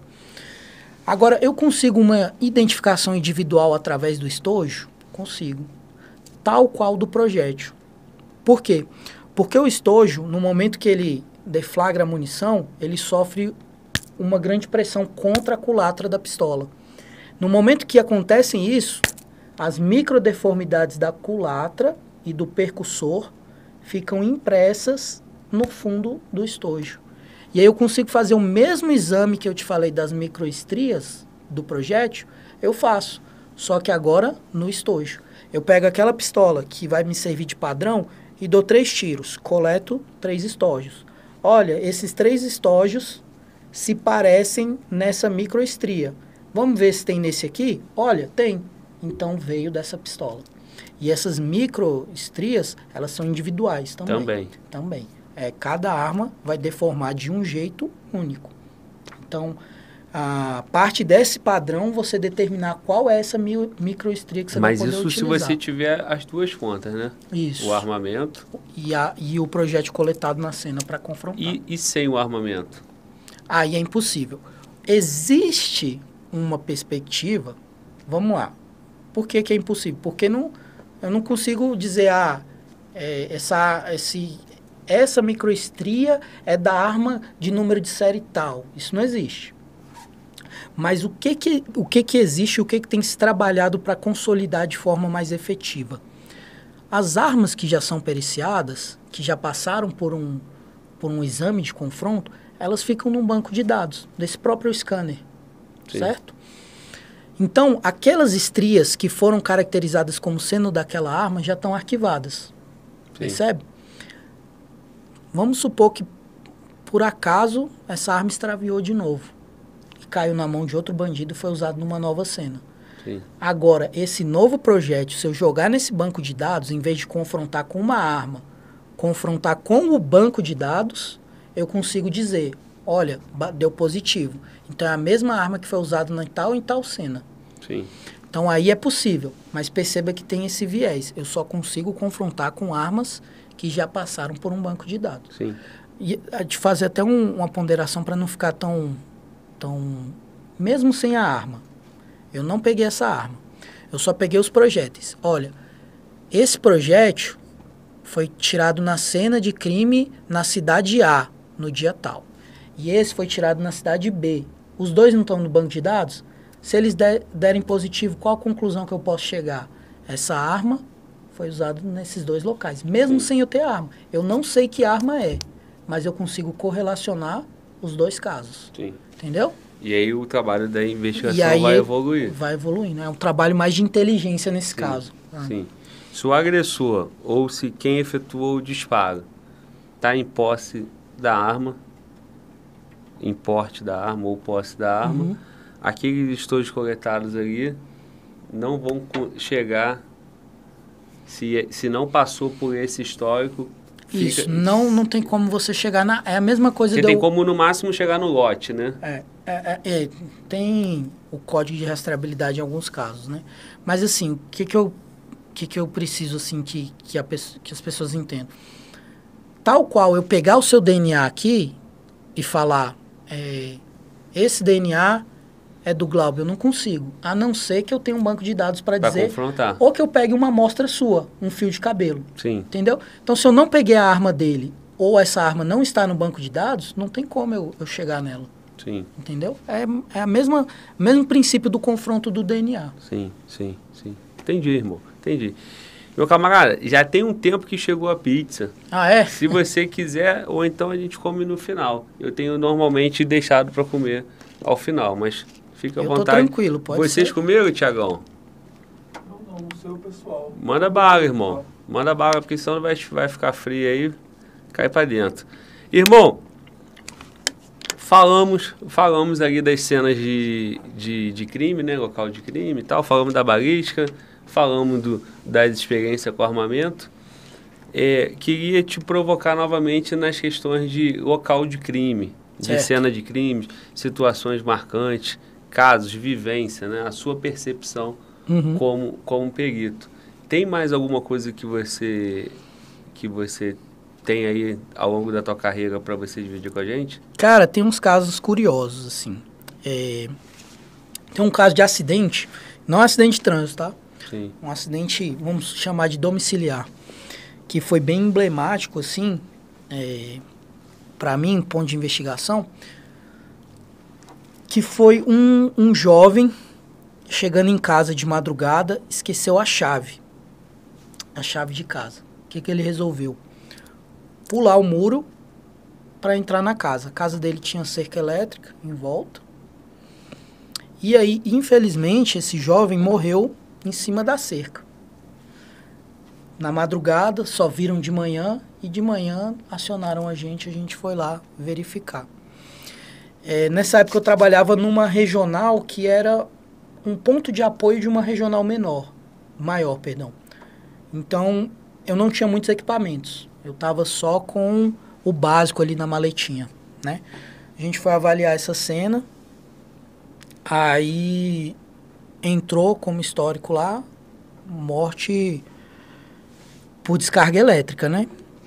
Mas aí já gera aquela curiosidade, Glauber. Ué, mas essas, essas cercas elétricas, elas não têm é, uma corrente elétrica de fato suficiente para matar. Ela tem uma voltagem considerável, mas a, a carga ali, a descarga ali não é suficiente para matar. Até porque seria até crime colocar então, porque a gente Sim. teria vários casos de, de óbito aí nas cercas elétricas.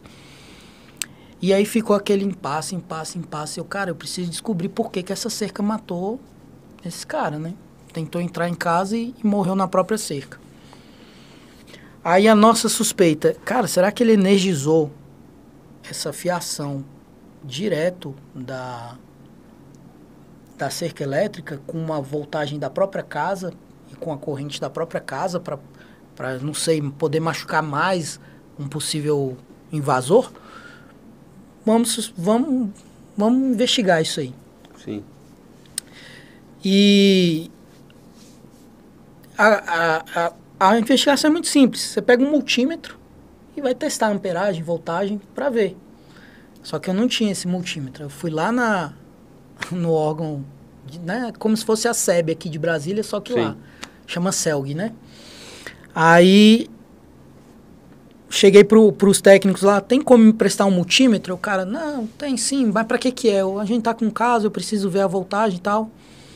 Isso a gente já tinha feito toda a cena, já tinha retirado o corpo tal, e aí eu só queria investigar a questão da energia, da eletricidade. Fomos lá.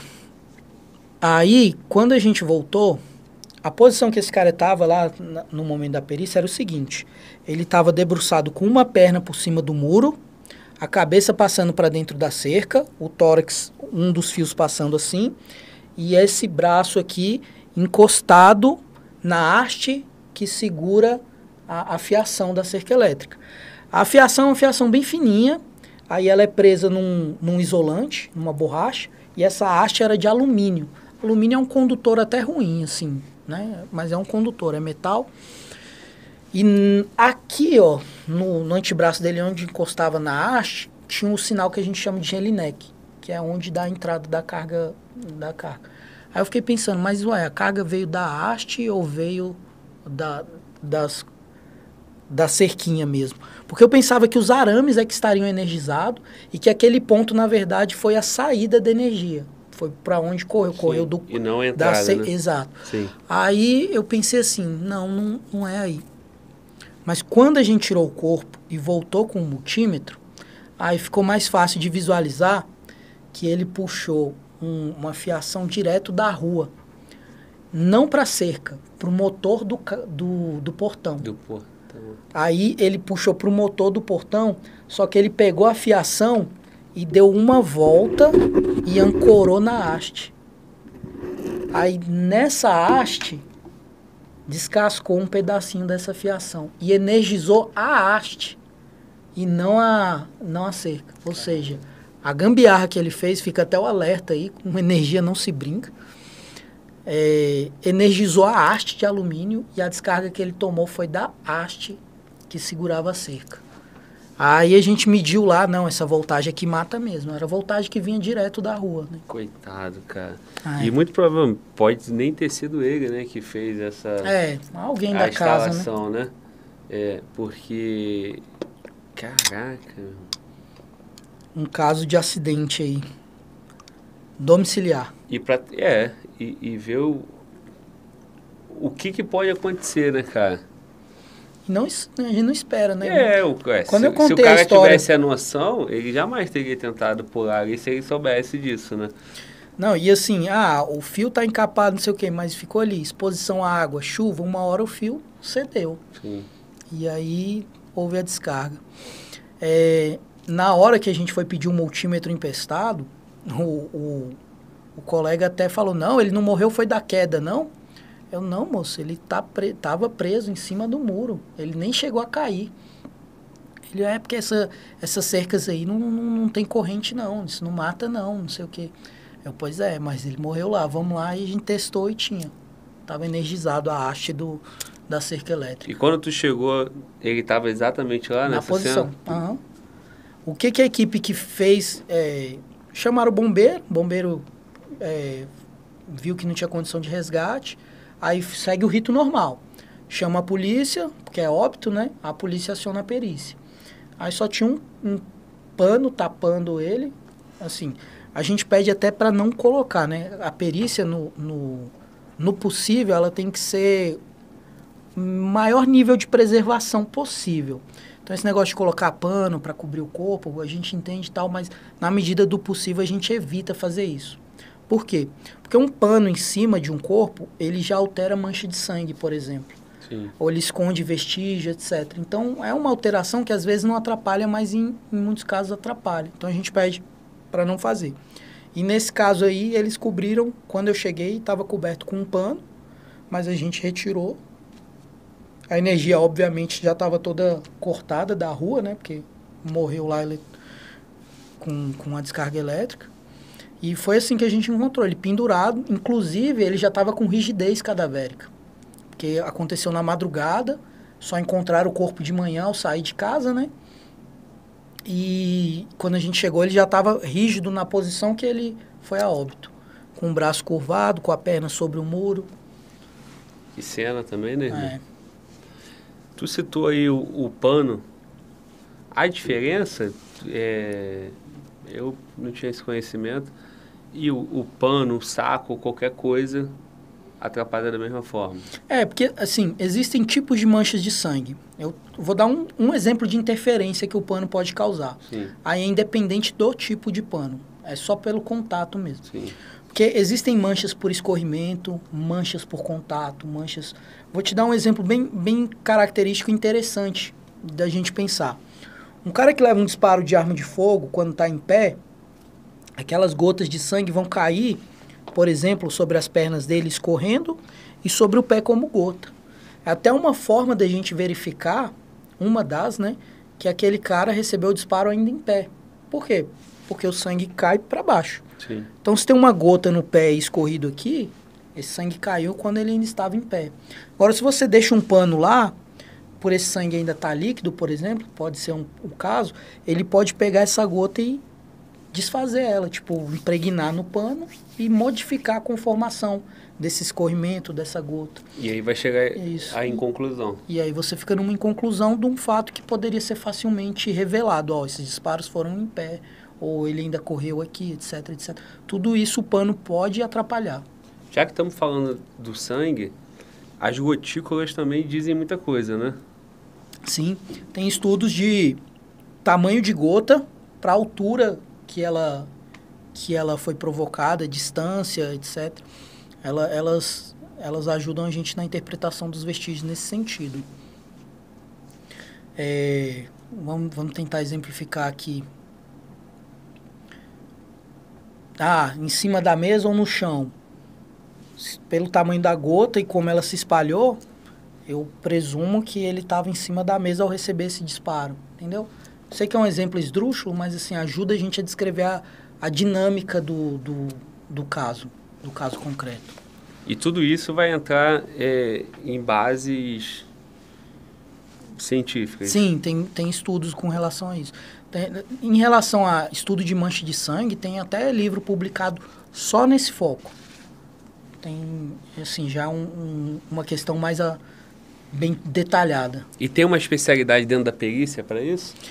Aqui na nossa realidade eu desconheço. Tem, assim, por exemplo, o grupo de homicídios lá de Goiânia, eu, eu vi esse ano, por exemplo, eles ofertando um curso de interpretação de mancha de sangue. Mas perceba, não é um perito que vai fazer só isso. Sim. É tipo assim, uma parte do, de estudo para aquela galera que, que faz Local cena- de local de crime. Então, é, eles ofertaram até esse curso recentemente. É Sim. bacana. Sim. É, Acontece situação de você é, ser chamado, ou já aconteceu situação de você ser chamado por uma, por uma cena de crime e chegar lá ainda. Tá vivo ainda, não, não teve a morte, já aconteceu isso. Cara, tem um caso que aconteceu que não, não foi comigo. Quando eu conto, a galera acha que é zoeira. É tipo aquelas histórias, assim. é, Eu não sei se o Leandro já contou esse no seu podcast, mas deve ter É, contado. fala que eu vou saber. Se, se, se, eu, se eu lembrar. Mas Aconteceu com um colega nosso. Aí é aque- aquele negócio, história de pescador. Ih, vou embora já começou a mentira, né? Sim. Mas um colega Mas nosso. Você já ganhou a nossa audiência com a sua sinceridade. Então, É. tenho certeza que não vão imputar mentira em você, não. Pronto, então tá, tá. Inclusive um colega, grande amigo, que tá nessa mesma peregrinação de cursar medicina fazendo. fazendo.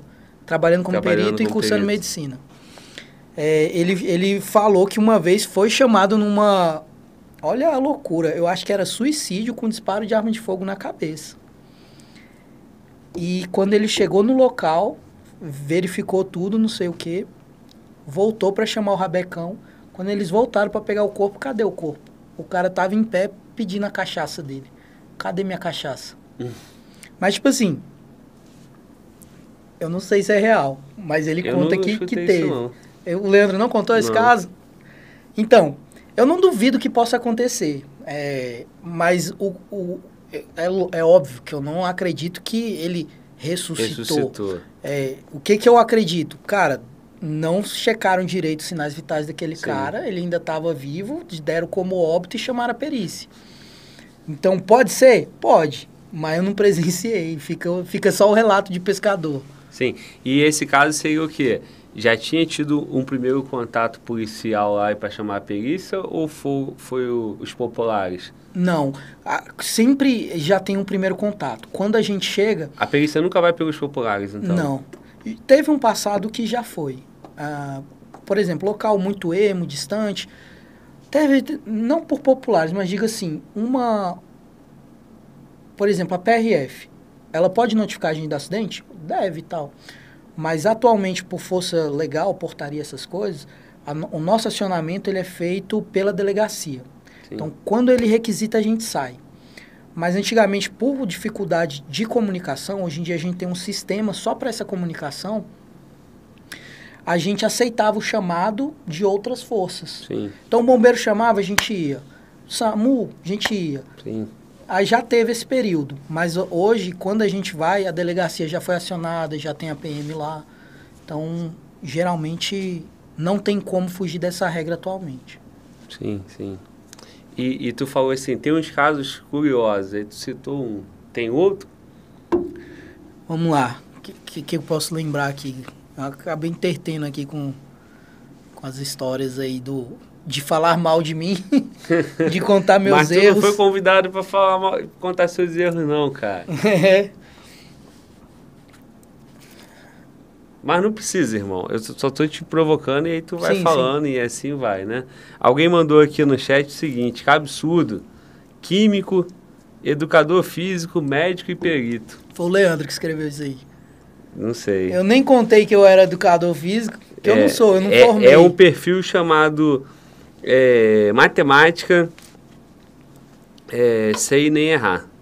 Sem nem, sei nem errar. Ah, esse cara é meu Hashtag brother. matemática sem nem errar. Eu sei, é, é o Pedrinho, esse cara é meu brother. A gente foi aluno de cursinho junto há muitos anos. Quando eu passei para química, ele passou para Matemática. matemática.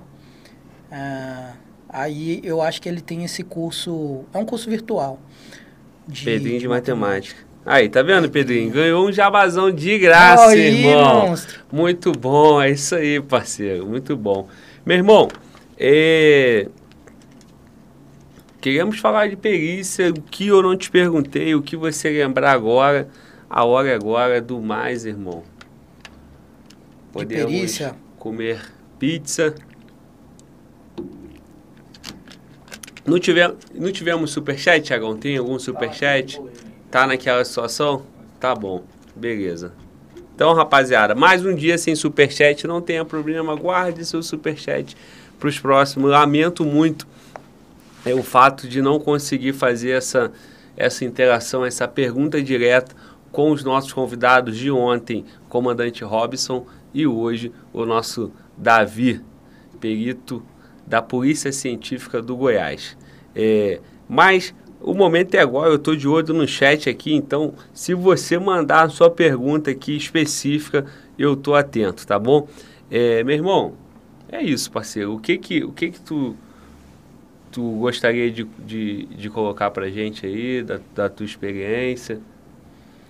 Glauber, acho que já, a gente já está nos momentos finais, né? De encerrar aqui.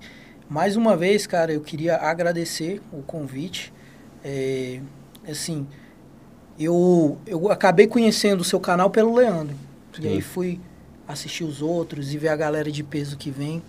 Agradecer esse serviço que você presta em dar voz para os policiais, dar voz para as instituições por meio desses policiais e de suas respectivas experiências. Cara, trabalho sensacional. É, espero ter podido trazer um pouco, contribuir um pouco aí com, com essa vivência aí de quase 10 anos dentro da, da científica. Sempre que precisar, conta com a gente lá, viu, Glauber? A gente tá Obrigado, junto. irmão. A casa é de vocês e é isso aí, irmão. Obrigado, irmão. Pra gente, uma honra ter vocês aqui, cara. O, o canal tá sendo privilegiado com a qualidade de convidados e receber você aqui é uma confirmação disso. Os colegas que passam por aqui indicam outros colegas, foi o caso do Leandro te indicou. Da mesma forma, sinta-se à vontade para indicar qualquer outro colega. Tu conhece o canal, está conhecendo um pouco mais o canal hoje, a nossa batida. Então, Fala Glau Podcast está de portas abertas aqui para todos os colegas. E aí chegou as perguntas aqui, irmão, tá? Bora. Vou te passar aqui. é, Cadê? É, O colega perguntou, o Rafael, pergunta sobre crime perfeito. Se o perito consegue, existe essa questão de crime perfeito? É possível? O perito consegue desvendar todos os casos? Qual a intenção da sua pergunta, hein, Rafael? Eu vou te responder, cara, com, com um princípio aí meio que filosófico da, da, da perícia, né? Cara, todo contato deixa vestígio, todo, todo. A gente parte desse pressuposto. Você pode não ser competente o suficiente ou ter equipamento suficiente para observar os vestígios que foram deixados nesse nesse contato, mas toda interação física deixa vestígios. Então, assim, um crime sem vestígios é impossível. Se é que dá para responder essa pergunta. Sim. Então, então não existe crime perfeito, irmão. Qual é o segredo? Não cometa crime. Beleza? É mais ou menos por aí? Nesse modelo. É... Estão. O colega perguntou aqui, essa aqui parece ser interessante, irmão. Fala aí, Glauber, pergunta a ele se é verdade que em, que, em geral, o caso de homicídio, geralmente o, o autor ou autores estão por perto. Se isso é lenda ou se realmente acontece. É, eu, eu não presenciei casos assim, mas é, dentro do nosso curso de formação, a gente passa pelas experiências de outros colegas, eles narram pra gente. E já foi, já foi bastante relatado casos do tipo, inclusive com vestígio de mancha de sangue no, na camisa de um dos populares que observavam a cena e dali desenrolou a situação para chegar no, na autoria do crime. Então é possível sim, é, mas eu pre nunca tive um fato desse não. Essa pergunta vai muito naquele, naquele sentido da questão é, psicológica, né? Do Sim. criminoso, de cometer o, o ato e, e querer presenciar a cena, tudo isso, né? Envolve Exato. muito isso. Ver o desfecho do que ele fez, né? Passa Tem. por isso, né? Passa, passa. Pelo dilema subjetivo de. Não sei, né? Irmão, para fechar aqui, ó, perguntaram se teve algum caso famoso, alguma situação que você participou que deu repercussão na imprensa. Assim, famoso para a região, é, mas não, não ganhou mídia nacional, digamos assim, então provavelmente é, as pessoas não tiveram conhecimento. Mas um dos municípios que eu participei, cara, foi uma cena bem emblemática, que foi um homicídio seguido de suicídio. Um rapaz matou a esposa por um desentendimento dentro de casa e é, depois se enforcou. Esse, esse caso ele ganhou notoriedade porque o, o, o rapaz que, se, que matou e se suicidou, ele era parente do prefeito do município. E aí ganhou repercussão local. É, inclusive uma parte bem chata, Glauber, né, nas ocorrências, é a questão de fotos, né? É, a perícia tira as fotos porque faz parte do processo de, de materialização do fato. Mas aí muitas pessoas em volta, até familiares, etc., costumam tirar fotos dos casos. Aquela curiosidade de ver corpo, etc. E aí, nesse caso, essas fotos vazaram, ganharam destaque no jornal local, etc, etc, etc. Então, assim, não é uma coisa legal ficar divulgando fotos de, desse tipo, né? Receber num grupo, sair mandando, etc. Mas de caso notório foi esse. E foi um caso emblemático até, Glauber, que pela, pela a gente já que a gente entrou nesse assunto, depois de ele esfaqueou a mulher, né, na cozinha, e aí a cena ficava bem caracterizada pelas manchas de sangue, e na, na perna dele tinha tinha marcas na calça dela tentando brigar ainda com ele e tal. E no final de tudo, a casa estava toda marcada de pegadas de um lado para o outro. Você vê o desespero do cara depois que fez a merda, né? Matou a esposa, etc, etc. Andou de um lado para o outro, para o outro, para o outro. E a casa cheia de pegadas. Você conseguia descrever o rastro de, dos cômodos que ele acessou completamente, assim, por esse rastro. E no final ele foi no quintal, amarrou uma corda e se enforcou. Aí, de, de caso notório foi esse. Esse caso que eu te narrei, da, do triplo homicídio, ele também ganhou destaque na, aqui no entorno de Brasília, assim, ficou conhecido, mas não acessou mídias. Um caso desse aí, cara, esse último que tu relatou, você chega na cena, você consegue laudar exatamente o que aconteceu ali? Isso, você faz uma... Porque fica muito claro, né, como uhum. você colocou, né? Sim, mas é, você tem limitações, né? É, na, na dinâmica. Essa dinâmica está bem caracterizada. Onde ele matou, isso. A forma que ele matou, a faca que ele usou, estava lá. Os vestígios estavam muito acessíveis e o local muito bem preservado, porque foi dentro de casa. Geralmente, locais fechados assim, a, os vestígios costumam ficar bem preservados. Então, essa dinâmica está bem legal para caracterizar. Agora, vou te fazer uma inquietação aqui, se a gente ainda tiver um tempinho. Por exemplo, a gente costuma muito falar de posição relativa de autor e vítima. Então, se o disparo foi subindo, provavelmente a vítima estava mais num ponto mais alto ou era mais alta que a vítima, etc, etc.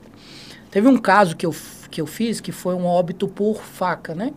É, e aí, na faca, será que eu consigo descrever essa posição relativa? Um delegado me, me quesitou isso Sim. nesse laudo. Mas você, que a gente escreveu a lesão como uma entrada aqui, é, descendente, né? Quando eu tenho uma entrada descendente por tiro, eu consigo descrever a relação, a posição entre os dois.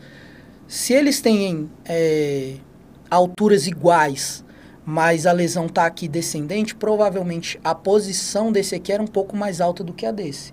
Isso quando eu estou falando do tiro, né?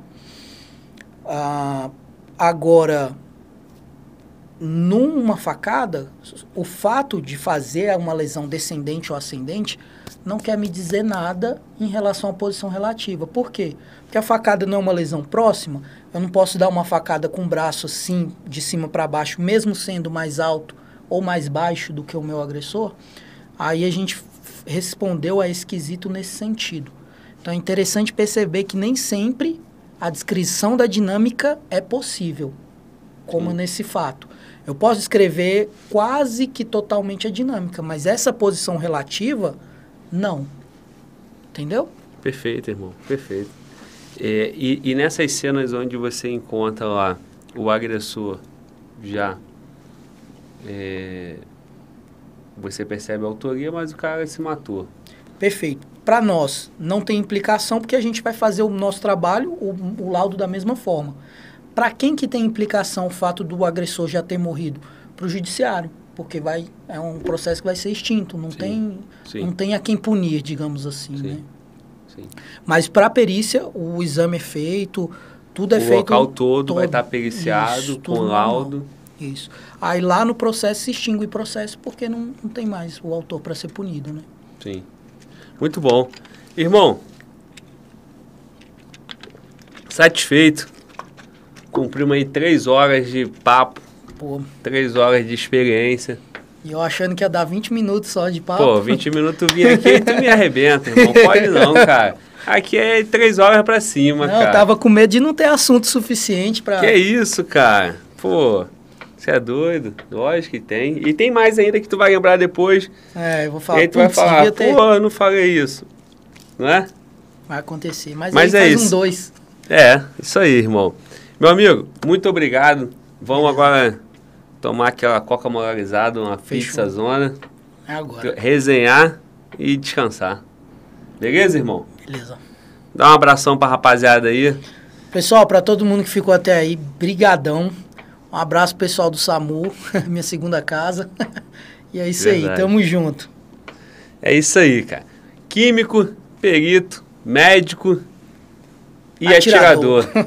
Muito bom. Esse é o Davi Valadão. Quase. Pô, bem na hora certa, hein, cara? Hein? Foi a Siri, viu? Não fui eu não. Foi a Siri que tocou isso aqui. Hein? Eu falei do Valadão na hora que eu ia brincar contigo, né? Aham. Falar, não é o cantor, não é da família de cantor, É. mas é químico, perito, médico e atirador. Muito bom. Meu irmão, satisfação. Muito obrigado. É isso aí, rapaziada. Eu sou o Fala Globo e esse é o Fala Globo Podcast. Podcast 91. Estamos caminhando aí por meio milhão de inscritos. Se você ainda não é inscrito no canal, vá lá agora, deixe sua inscrição, compartilhe esse conteúdo com outras pessoas. Tamo junto e fala, Glauber!